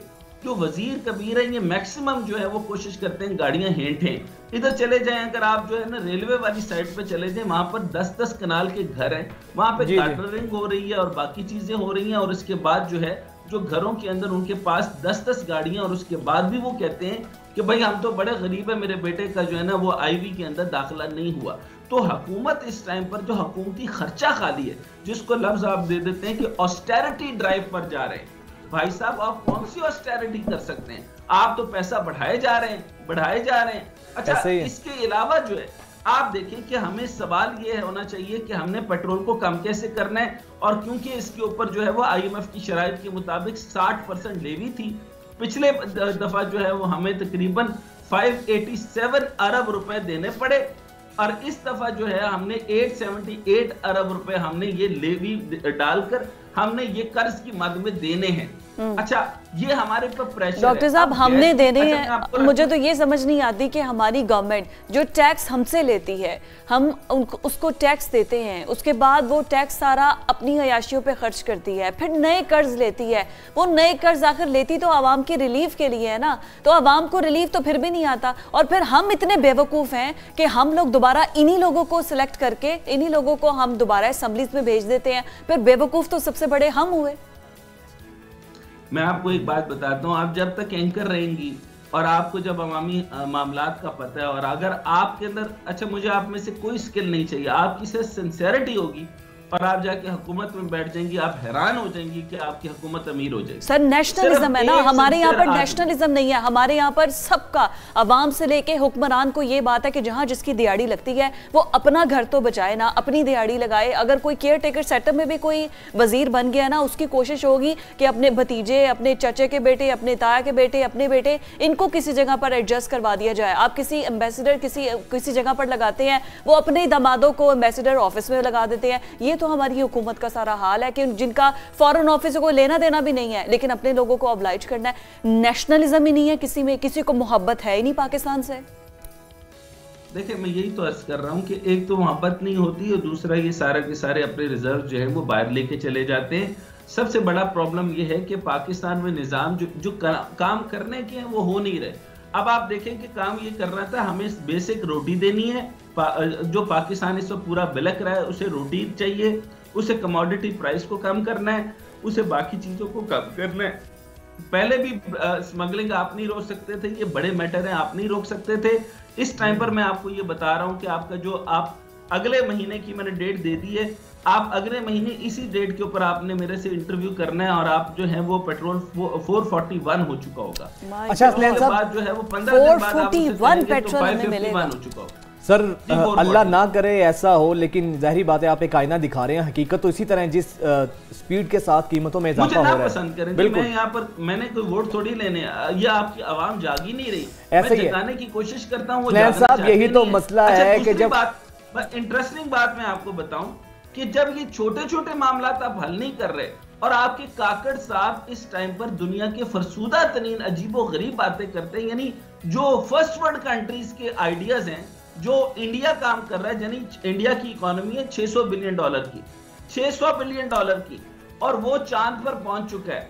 वो डिजिटल करेंसी की बात करें या डिजिटल करेंसी की बात करें या डिजिटाइजेशन की बात करें आप अंदाज़ा करें हमारे पाकिस्तान में इंटरनेट नहीं है गिलगित बल्तिस्तान में इंटरनेट नहीं मिलता कश्मीर में इंटरनेट नहीं, नहीं मिलता।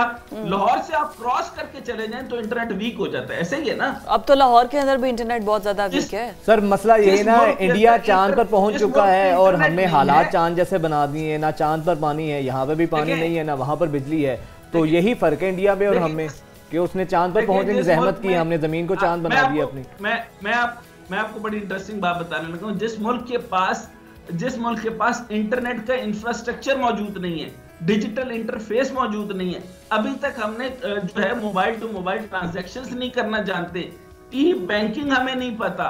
तो वहाँ पर आप इस तरह के छक्के मारते हैं लोगों को बेवकूफ़ बनाने के लिए। हम्म। इसमें भी इन्होंने सिर्फ़ सिर्फ़ सिर्फ़ अरबों रुपए का कट लगाना है। अभी इन्होंने एक जो है वो बात मारी है कि डिजिटल करेंसी मुतारफ करवाने लगे। इनको पता भी है ब्लॉकचेन क्या होती है?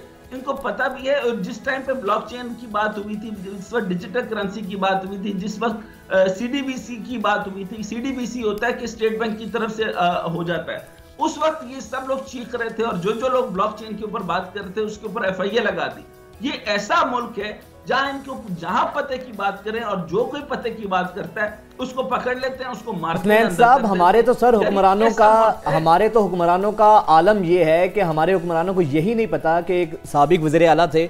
तो जब कोरोना अपने रूज पर था तो उन्होंने सवाल किया डॉक्टर से, ये कार्ड काटता क्या? तो जब इस तरह के हमारे मजहका खेज और इस तरह के हमारे फ़नी हुक्मरान होंगे तो सर उनको आगे का क्या पता होगा? यही तो अलमी है। बहुत शुक्रिया हसनैन जावेद साहब आपके वक्त का। यही चीज़ है ना असल के, आप डिजिटल करेंसी कह तो देते हैं। आपको यही नहीं पता ये करेंसी है कि इस बला का नाम, इसके फ़वाद क्या होंगे, इसके नुकसान क्या होंगे। सिर्फ़ ज़बानी कलामी बातों से तो बात आगे नहीं बढ़ेगी। और हमारे पीएम साहब उनकी प्रायोरिटीज़ का, उनकी संजीदगी के आलम का मुलाहजा करें। जब उनसे फिदा सवाल हुआ कि नौजवान बड़ी तादाद में बाहर जा रहे हैं तो उन्होंने कहा, जाते हैं तो जाएँ, हमें से क्या है? जब ऐसे कंसर्न्स होंगे, आपको इस बात की फ़िक्र ही नहीं होगी कि आपका ब्रेन ड्रेन बाहर जा रहा है। और आप कह रहे जाते हैं तो जाएँ तो फिर यहाँ से आप अंदाज़ा लगाए ना जब आपकी क्या होगी। पीछे चार गाड़ियाँ और आगे चार सिक्योरिटी गार्ड होंगे ना और आपकी जेब में पूरा पाकिस्तान चार गाड़ियाँ नहीं फिर उसके बाद की तादाद में दर्जनों की तादाद फिर उसके बाद देखेंगे कि किसको इस नशे में रहते हुए किसको होश आता है और किसको नहीं फिर उसके बाद ये बात होगी लेकिन प्रियोरिटीज ये नहीं है। और पता नहीं उम्र के इस हिस्से में भी इन लोगों को कबर याद करनी चाहिए ये लोग अपनी अयाशियों में लगे एनीवेज आगे बढ़ते हुए खबर ये है कि जो हम आपसे शेयर करने जा रहे हैं क्रिस्टियानो रोनाल्डो जो कि अल नसर क्लब को ज्वाइन कर चुके हैं और उसके बाद हुआ ये है कि उनसे एक पुर्तगाली बच्ची ने मिलना था लेकिन उनकी मुलाकात नहीं हो सकी और उसके बाद इस बच्ची की रोती हुई वीडियो सोशल मीडिया पर वायरल हुई और अब फाइनली हुआ ये है कि रोनाल्डो इनको मिलने के लिए स्पेशली ईरान पहुँचे हैं और जब वो पहुँचे तो उनकी एयरबस के साथ ये हज़ारों मदा उनकी एयरबस के साथ घूमते रहे पीछे दौड़ते रहे। फिर इनके इनके जो जिस होटल में ये रह रहे थे उसके बाहर उन्होंने घेरा रखा कि एक बार वो रोनाल्डो को देख लें सिर्फ़ एक झलक देखने के लिए कितने मदा उनके अच्छा, दिल होटल के बाहर थे। कितना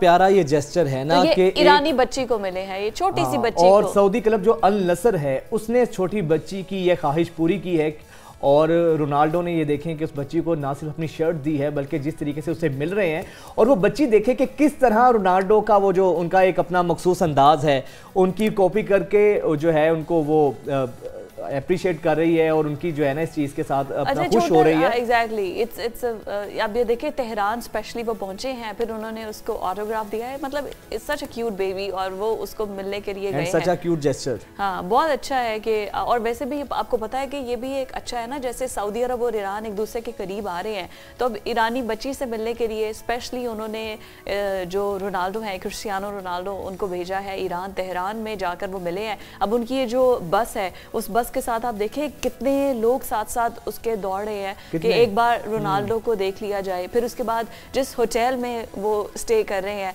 वहाँ पर कितने ज़्यादा लोग वेट करते रहे हैं कि रोनाल्डो को एक बार देख लिया जाए। लेकिन फाइनली दैट्स अ बेबी जो कि जिसकी ख्वाहिश पूरी हुई है।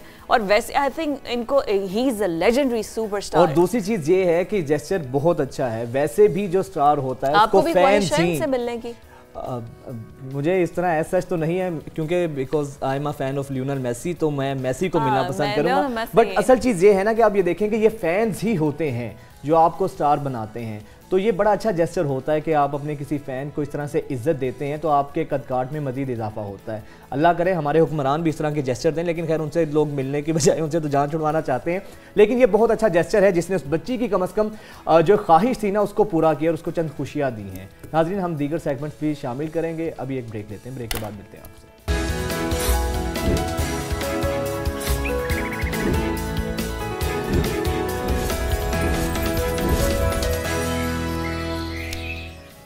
ब्रेक के बाद अब कुछ बात करते हैं सियासत में और सियासत में आपको पता है कि हमारी पूरी की पूरी सियासत नवाज़ शरीफ के गिर्द घूम रही है। उन्होंने कब वापस आना है? जब वो वापस आएँगे इलेक्शंस भी तब होंगे। और बिलावल कह रहे हैं जी हमें लेवल प्लेइंग फ़ील्ड नहीं दिया जा रहा है। और यही वो तमाम पार्टीज़ हैं जिन्होंने अभी सोलह महीने हुकूमत की है। उसके अच्छा, बाद आपस की बात है कि आपने बिल्कुल सही कहा है कि हमारी पूरी सियासत नवाज़ शरीफ साहब के गिर्द घूम रही है। But to be very honest आवाम को इससे कोई दिलचस्पी नहीं है। जिस जितना इस हुकूमत ने ऐसे जो इसे पिछली हुकूमत थी पीडीएम की जितना महँगाई के अंदर लोगों का जो हाल हुआ है तो एक आम आदमी तो फिजा उसको तो अपनी रोटी के लाले पड़े हुए हैं। तो उसको इससे क्या दिलचस्पी है कि मियाँ साहब आएँगे? फ़र्ज़ करें अगर वो आ भी जाते हैं दिलचस्पी हो भी तो क्या ये जो 300 प्लस 331 पे फ्यूल हमारा पहुँचा हुआ है या उसके अलावा जो डॉलर कहाँ पे गया हुआ है क्या ये चीज़ें बेहतर हो जाएँगी उनके आने से? अगर होती हैं तो फिर तो समझ आती है वरना अदरवाइज़ सूरत हाल तो वैसी ही रहेगी उनके आने से। क्या कोई ऐसा खास कोई वैल्यू एडिशन होगा पाकिस्तान अच्छा chairman peoples party Bilawal Bhutto Zardari जो कहते हैं ना उन्होंने पहले कहा था ना ये एक के लेवल प्लेइंग फ़ील्ड नहीं दिया जा रहा। उस पर उन्होंने ये कहा है कि मैंने सिर्फ़ नून लीग के लिए ये बोला था। और अभी बिलावल लाहौर के अंदर सरगर्म होने जा रहे हैं और मरीम नवाज़ जो है वो कराची का रुख करने जा रही हैं। तो अभी देखना यह है कि ये दोनों पार्टीज़ जो कि एक दूसरे के बिल्कुल साथ थी और अभी ये एक दूसरे के अगेंस्ट आ चुकी हैं। मिलकर हुकूमत कर रहे थे अब ये अगेंस्ट आ चुकी हैं। क्योंकि इलेक्शन आने वाले हैं कोई नैरेटिव तो बिल्ड करना है। वो अपनी सियासत करके बिलावल भुटो जरदारी वापस जा चुके हैं पंजाब से। खिलाफ इलेक्शन भी लड़ना है। हाँ एग्जैक्टली और अब मरियम नवाज़ जो है वो अपना जो पंजे हैं वो गाड़ने जा रही हैं कराची के अंदर। लेकिन अच्छा, नवाज़ शरीफ साहब तो इक्कीस को आएँगे या नहीं आते? लेकिन नवाज़ शरीफ साहब ने कहा क्या है? वो कहते क्या है इस बारे? आपको वो दिखाते हमें ना छेड़ के फिर जोश अश्क से बैठे हैं हम तहैया तूफ़ान किए हुए। तो ये अपना यहाँ तक मामला नहीं जाना चाहिए था। कभी नहीं गया पहले। पाकिस्तान की तारीख में कभी नहीं गया। और अब भी नहीं जाना चाहिए था। बात को मेरा ख्याल है कि यही रहने दिया जाए। ये आगे ना बढ़े तो अच्छा है। कि गालिब रहने दिया जाए तो ठीक है आगे ना बढ़े तो अच्छा है। आखिर ऐसा क्या है कि क्यों नहीं ये लगारी साहब से इसका जवाब लेते हैं वही बेहतर तरीके से दे सकेंगे। बहुत शुक्रिया लगारी sahab welcome to news morning sir अब गिले शिकवे शुरू हो गए हैं। मोहब्बतें रुखसत हो गई हैं इकतदार के साथ ही। बिलावल साहब कहते हैं कि लेवल प्लेइंग फ़ील्ड हमें नहीं मिल रही है। नवाज़ शरीफ साहब कह रहे हैं कि हमें ना छेड़ बात बहुत आगे तक जाएगी। हो क्या रहा है सर ये क्या वैसे समझ नहीं आया है कि छेड़छाड़ क्या है किस छेड़छाड़ की बात करें मियाँ नवाज़ शरीफ मियाँ तो नवाज़ शरीफ का जो दौर है मियाँ नवाज़ शरीफ का जो दौर है पहला दौर वो जब वज़ीर अजम बनते हैं और पहले उससे वज़ीर अला रहते हैं उन्नीस सौ पिचासी से लेकर वो वो वज़ीर अला चले जा चले आ रहे थे और उसके बाद उससे पहले उन्नीस सौ इक्यासी में वज़ीर ख़जाना बने हम्म। उन्नीस सौ पिचासी में वज़ीर अला बने फिर उन्नीस सौ नब्बे में ये वज़ीर आज़म बनते हैं। प्राइम मिनिस्टर बने जी। जी वज़ीर अजम बनते हैं। जिस रोज ये वज़ीर अजम बने उस रोज आसिफ जरदारी को गिरफ़्तार कर लिया गया और वो उस वक्त तक गिरफ़्तार रहे जब तक के मियाँ नवाज़ शरीफ इकतदार में रहे। और दूसरी बात जब वो वजी अजम बने और 1997 में और वो जरदारी साहब उस वक्त तक बंद रहे और उसके बाद भी उसके बाद भी छः साल और वो बंद रहे मियाँ नवाज़ शरीफ का पूरा दौर परवेज मुशरफ के दौर का ज़्यादा अरसा वो जेल में बंद रहे। आप किसको कह रहे हैं? यहाँ नवाज़ शरीफ किसको कह रहे हैं कि हमें ना छेड़? आप हमें ना छेड़ किस, किसके लिए कह रहे हैं? किसको कह रहे हैं कि आप हमें ना छेड़ जो? और कौन सा आपने तूफ़ान नहीं उठाया था जो अब तूफ़ान उठाना है आपने? कौन सी कयामत नहीं ढाई थी आपने जो अब नए ढाने जा रहे हैं? कौन सा ऐसा मसला है? फिर आपने इनको जब ये इकदार में आए थे असफ जद्दारी, आपने एक दिन सुकून का दिया इनको। जिनकी वजह से आप पाकिस्तान में आप पाकिस्तान का दस साल का मुआहदा करके चले गए थे। आपने कहा था कि मैं सरजमीन पर सर पैर नहीं रखूँगा। और जब बेनजीर भुट्टो यहाँ पहुँची हैं उसके बाद आप यहाँ आए हैं हम्म। बल्कि आपकी तो कोशिश ये थी कि उनसे पहले ही पहुँचे। आपको वापस भेज दिया गया।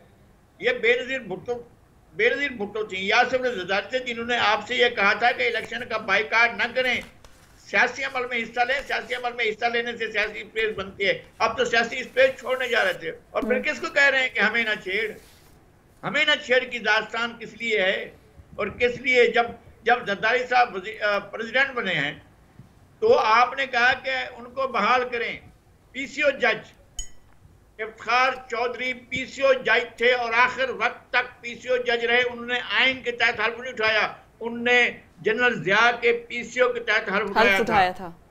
और रिटायरमेंट तक वो उन्होंने आइन जनरल मुशरफ के।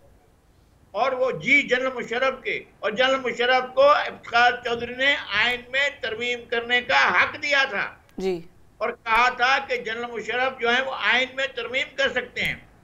और ये पीछे उनकी बहाली के लिए आए थे। हम्म। और फिर उनकी बहाली के लिए लॉन्ग मार्च किया। वो लाहौर से चले गुजरावाला पहुँचे।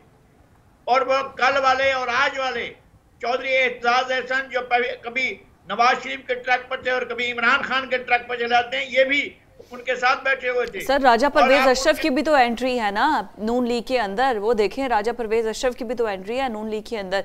फिर उसके बाद ये तो रही माजी की बातें और ये रही एक लास्ट जनरेशन अब तो नेक्स्ट जनरेशन की बात है। एक तरफ़ मरियम है एक तरफ़ बिलावल है।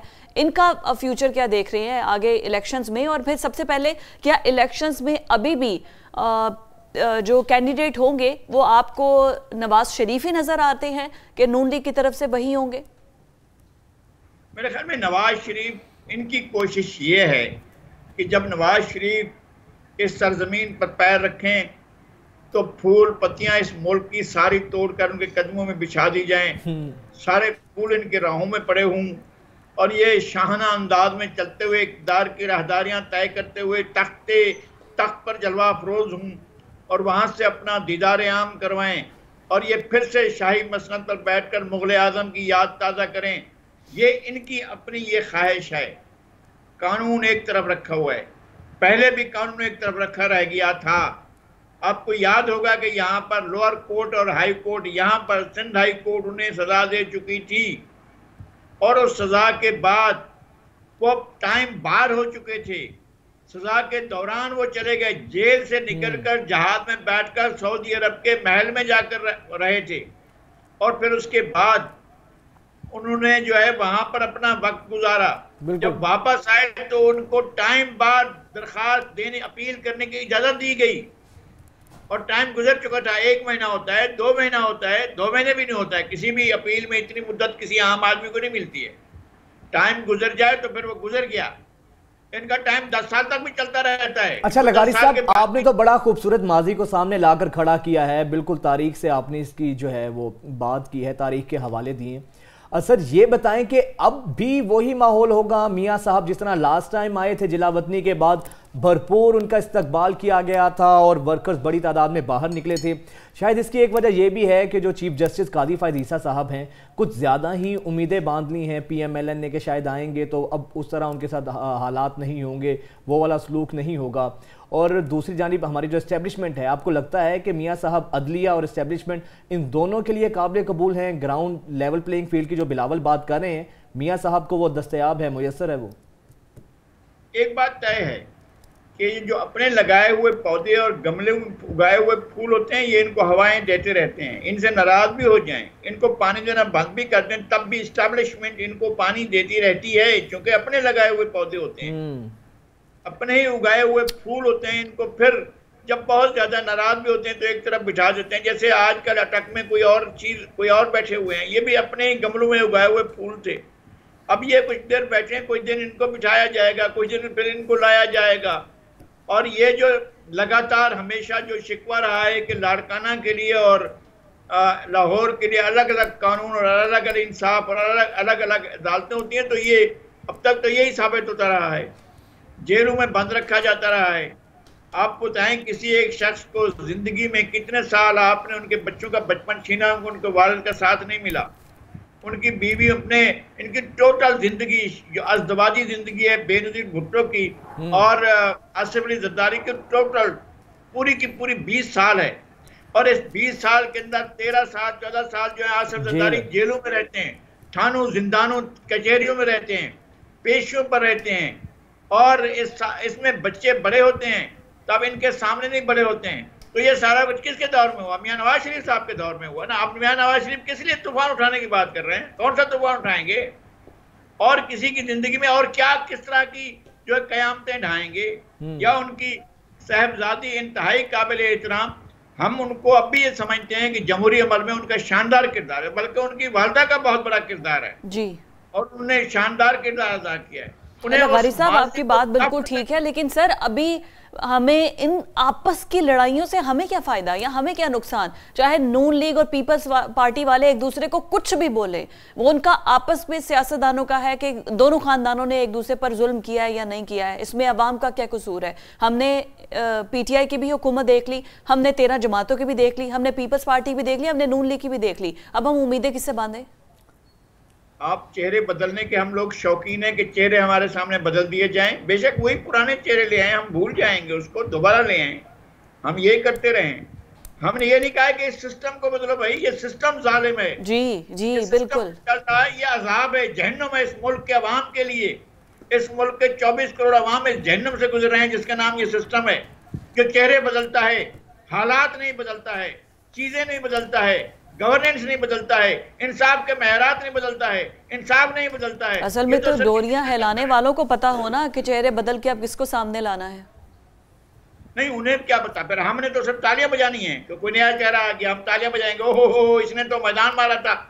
वो उसने एक वर्ल्ड कप जीता था एक और नया लाएँगे कि जनाब इसने तो टी ट्वेंटी का वर्ल्ड कप जीता था अब इसके पीछे तालियाँ बजाओ सब मिलकर खड़े हो जाओ। खड़े हो जाओ बच्चा लोग खड़े हो जाओ तालियाँ बजाओ। हम हमारा काम तालियाँ बजाना है। हमें इस तरह लाकर सामने खड़ा कर लेकिन लगारी साहब ये भी तो सिस्टम का अलमिया है ना। डेलीमा तो ये भी है कि ग्रास रूट लेवल से जो जेन्यन लीडरशिप होती है उसको ऊपर आने ही नहीं दिया जाता।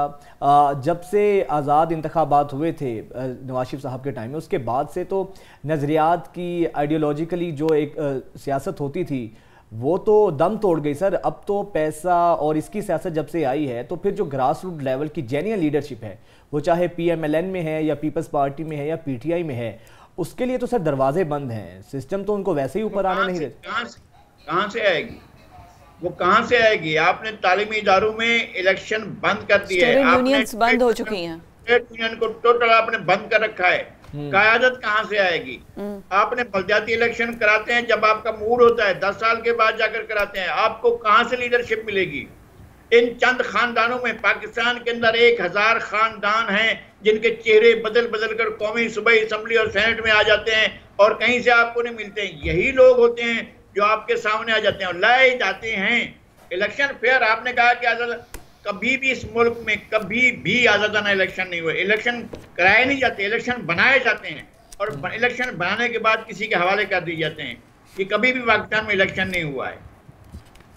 ठीक है, बहुत शुक्रिया लगारिस साहब, बिल्कुल सही आपने बात की। असल में अलमी और मसला ही ये है ना, हमारी सियासत चंद ख़ानदानों के गिर्द, याद के गिर्द घूमती है। वही शख्सियात हैं जो दूसरी पार्टी में होती है। जब उस पार्टी का सूरज गरूब होता है तो दूसरी पार्टी आ जाती है।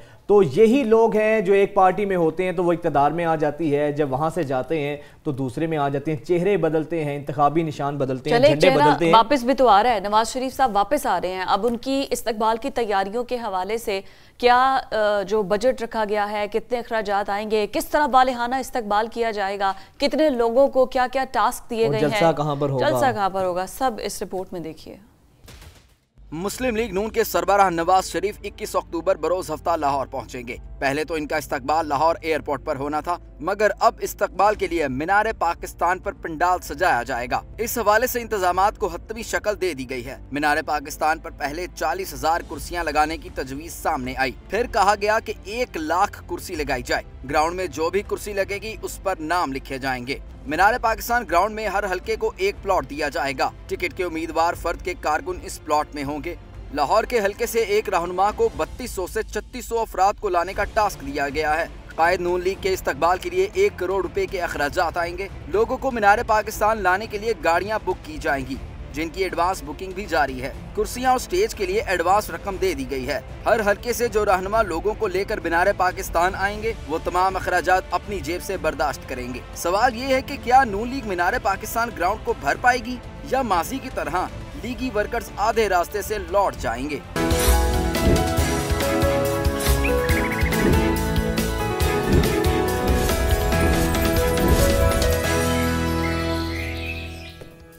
ब्रेक के बाद अब आपको जो खबर हम आपसे शेयर करने जा रहे हैं, वो ये है कि कनाडा और इंडिया के दरमियान जो ताल्लुकात हैं वो कुछ ख़राब होते नज़र आ रहे हैं। कुछ नहीं बहुत ज़्यादा ख़राब हो क्योंकि जो कनेडियन नेशनल थे उनको उनका जब मर्डर किया गया खालिस्तान तहरीक मूवमेंट के बड़े एक्टिव वो मेंबर थे हरदीप सिंह और उन्होंने क्या किया था कि इंडियन एम्बेसी के ऊपर से उनका परचम उतार के खालिस्तान का परचम लहरा दिया था। उसके बाद रॉ की जानब से इंडियन मीडिया की जानब से ये प्रोपागेंडा किया गया कि इनको हार्ट अटैक हुआ है। हालाँकि जो पोस्टमार्टम हुआ उसमें पता ये चला कि इनको जहर दिया गया था। लेकिन उन्होंने कहा कि हार्ट अटैक हुआ है और तबई मौत है इनकी। इस वजह से उसके बाद जो सिख रहते थे कनाडा के अंदर, उन्होंने बड़ी स्ट्रॉन्ग मूवमेंट चलाई और उसके बाद बड़ा एहतजाज रिकॉर्ड किया गया। कनाडा का जो वैंकूवर का इलाका है मजाफाती वहाँ पर उनको गोली मारकर कत्ल किया गया और उसके बाद अठारह जून को यह वाक़ पेश आया था। और अब जो तहकीकात सामने आई हैं, उनमें वाज तौर पर साबित हो चुका है कि जो भारत की खुफिया एजेंसी रॉ है वो वो, वो, वो इस कत्ल में मुलविस है और उसके बाद बड़ा शदीद जस्टिन ट्रूडो जो वहाँ के पीएम है उन्होंने एहतजाज किया है।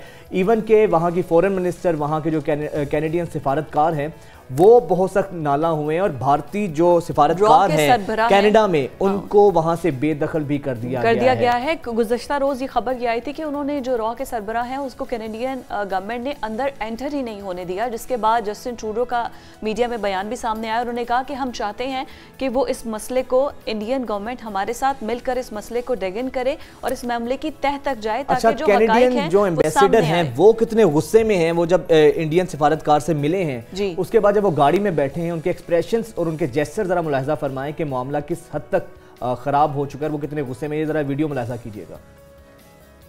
ये वीडियो में ये गुस्से में उन्होंने अपनी गाड़ी का दरवाज़ा मारा है। वो निकले हैं बाहर और गुस्से में आके गाड़ी में बैठे हैं और मीडिया से कोई बात भी नहीं की। आई I मीन mean, उनके फेशियल एक्सप्रेशन इतने हार्ड हैं कि कोई भी इस वीडियो में देख सकता है और ज़ोर से उन्होंने दरवाज़ा बंद किया। अपने गुस्से का इजहार जो गुस्सा निकाला है ना उन्होंने उसे तो कुछ भी नहीं बोले मीडिया के सामने।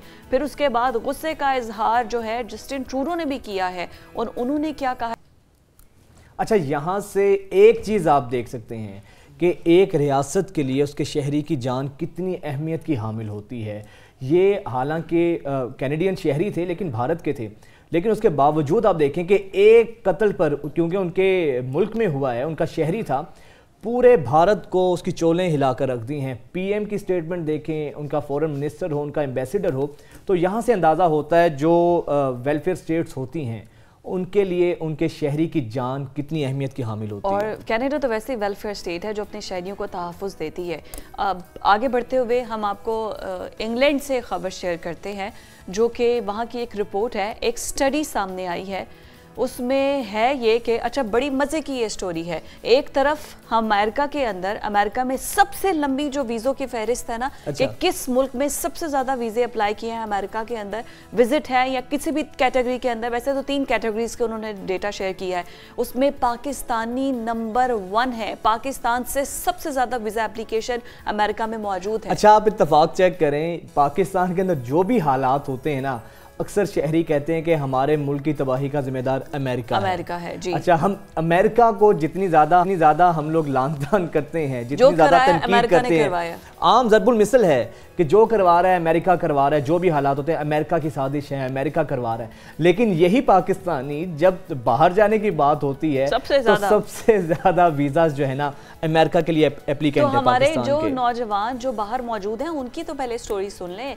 इंग्लैंड ने जो डेटा शेयर किया है ना, उसके मुताबिक जो सबसे निकम्मे, सुस्त और काहिल जो नौजवान हैं, जो यंगस्टर्स हैं और उनकी एथनिसिटी क्या है कि वो पाकिस्तानी हैं। पाकिस्तानी वहाँ पर जो मौजूद हैं, वो नंबर वन आए हैं क्योंकि वहाँ पर ना तो उनके पास डिग्रीज हैं, ना उनके पास अच्छी एजुकेशन है। एज सिक्सटीन से एज ट्वेंटी तक जब आपके पढ़ के किसी करियर को अडॉप्ट करने की एज होती है, ना तो वो किसी इंस्टीट्यूशन में इनरोल्ड है, एकेडमिक उनका पुअर है और उसके साथ उनको जॉब्स नहीं है। सबसे पहले जो फहरिस्त आई है, जो रिपोर्ट सर्वे आया एलेवन पॉइंट सेवन परसेंट जो है, वो, जो ब्रिटिश वाइट ब्रिटिशर्स हैं उसके बाद जो 11.5 हैं वो ब्लैक ब्रिटिशर्स हैं और उसके बाद आगे जाके इंडियंस 7.3 तक हैं।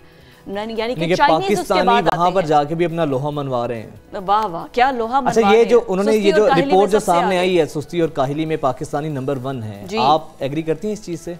मैं अग्री करती हूँ, बिल्कुल, ना वो यहाँ पे कुछ कर सकते हैं और वहाँ पर जब उनको सब फैसिलिटीज़ मिल जाती हैं, जब उन्हें पता है कि काम ना करके भी आपने गवर्नमेंट से पैसे ले लेने हैं तो फिर वो प्रेफर ये करते हैं कि आपको घर बैठे हुए गवर्नमेंट ही कुछ पैसे दे दे, आपको खुद कुछ ना करना पड़े। अच्छा आए रोज़ इस तादाद में इजाफा हो रहा है। हमारे नौजवान बस चाहते ये हैं कि शायद हम यहाँ से बाहर के मुल्क शिफ्ट होंगे ना। हमारी तकदीर बदल जाएगी वहाँ बाहें खोलकर वहाँ की कंपनीज़ पड़ी होंगी हमें नौकरियाँ देने के लिए। और वहाँ पर जाके भी हम लोग जो है ना डंडियाँ मारने से दो नंबरियाँ करने से बाज नहीं आते हैं। और माशाल्लाह क्या नाम रोशन किया है। काहली और सुस्ती में पाकिस्तानी सबसे पहले नंबर पर हैं। तो एज ए नेशन हमारे लिए बड़ी अलार्मिंग सिचुएशन है। वैसे हमारे नौजवान को पूछें हालात का रोना रोता है बेरोज़गारी के शिकवे करता नज़र आता है अक्सर लोग बैठे होंगे यही कहेंगे मेरिट ही नहीं है जी यहाँ पर एक आम कल्चर है जिसकी हम्म। सिफारिश होती है उसी को जॉब मिलती है। बट असल चीज़ ये है कि आपने अपनी डिग्री तो कर ली है लेकिन आपने हम्म। कोई स्किल आपके पास नहीं है कोई काम आपके पास नहीं है ज़्यादा काम करने से हमारी जान जाती है तो ये जब सारी चीज़ें होंगी तो फिर कैसे हम लोग आगे अपने आप को तरक्की कर सकते हैं या कोई अपने मुल्क का नाम रोशन कर सकते हैं तो ये बड़ी एक अलार्मिंग चीज़ अगर है। पाकिस्तान के अंदर वैसे ही आप आमदन के जराए बढ़ा दें लोगों को जो वो जितना काम कर रहे हैं Sorry. उसके अकॉर्डिंग माय गॉड ये लाइफ okay. का हुसन ऐसा हो जाता है ये ये, ये मैंने ये, मैं, ये आप सुस्ती और का मैंने ये कॉफ़ी गिरा कर साबित किया है कि मैं सुस्त और नाअहल नहीं आप आप आप जो हम खबर अभी शेयर कर रहे थे आपसे उसका अमली सबूत भी आपने अच्छा let's come back to topic ये नेचुरल है ऐसी हाँ, चीज़ बिल्कुल बिल्कुल टॉपिक हमारा यही है आपको क्या हो तो इससे साबित हुआ मैं सुस्त और नाहिल मैं सुस्त और काहिल नहीं हूँ। मैं सुस्त और नाहिल बिल्कुल हूँ। और मैं काहिल हूँ। जो सुस्त होते हैं वो तो हाथ भी नहीं हमने जो आपको बर्तानिया की रिपोर्ट दे रहे थे अभी आप लाइव आपने पाकिस्तान के अंदर देख लिया कि क्या कुछ हो रहा है। यहाँ पर मेरे को एंकर जिनसे कॉफ़ी का मग नहीं उठाया जा रहा और वो ये प्रोग्राम की ज़िम्मेदारी जाता है हो जाती है गलती। चले इसको भी साफ़ करते हैं इस सब के बावजूद टेबल के साथ आपसे इजाज़त लेना ही बनता है। तो इजाज़त दे हमें। इनशाला कल आपसे मुलाकात होती है। अल्लाह हाफिज।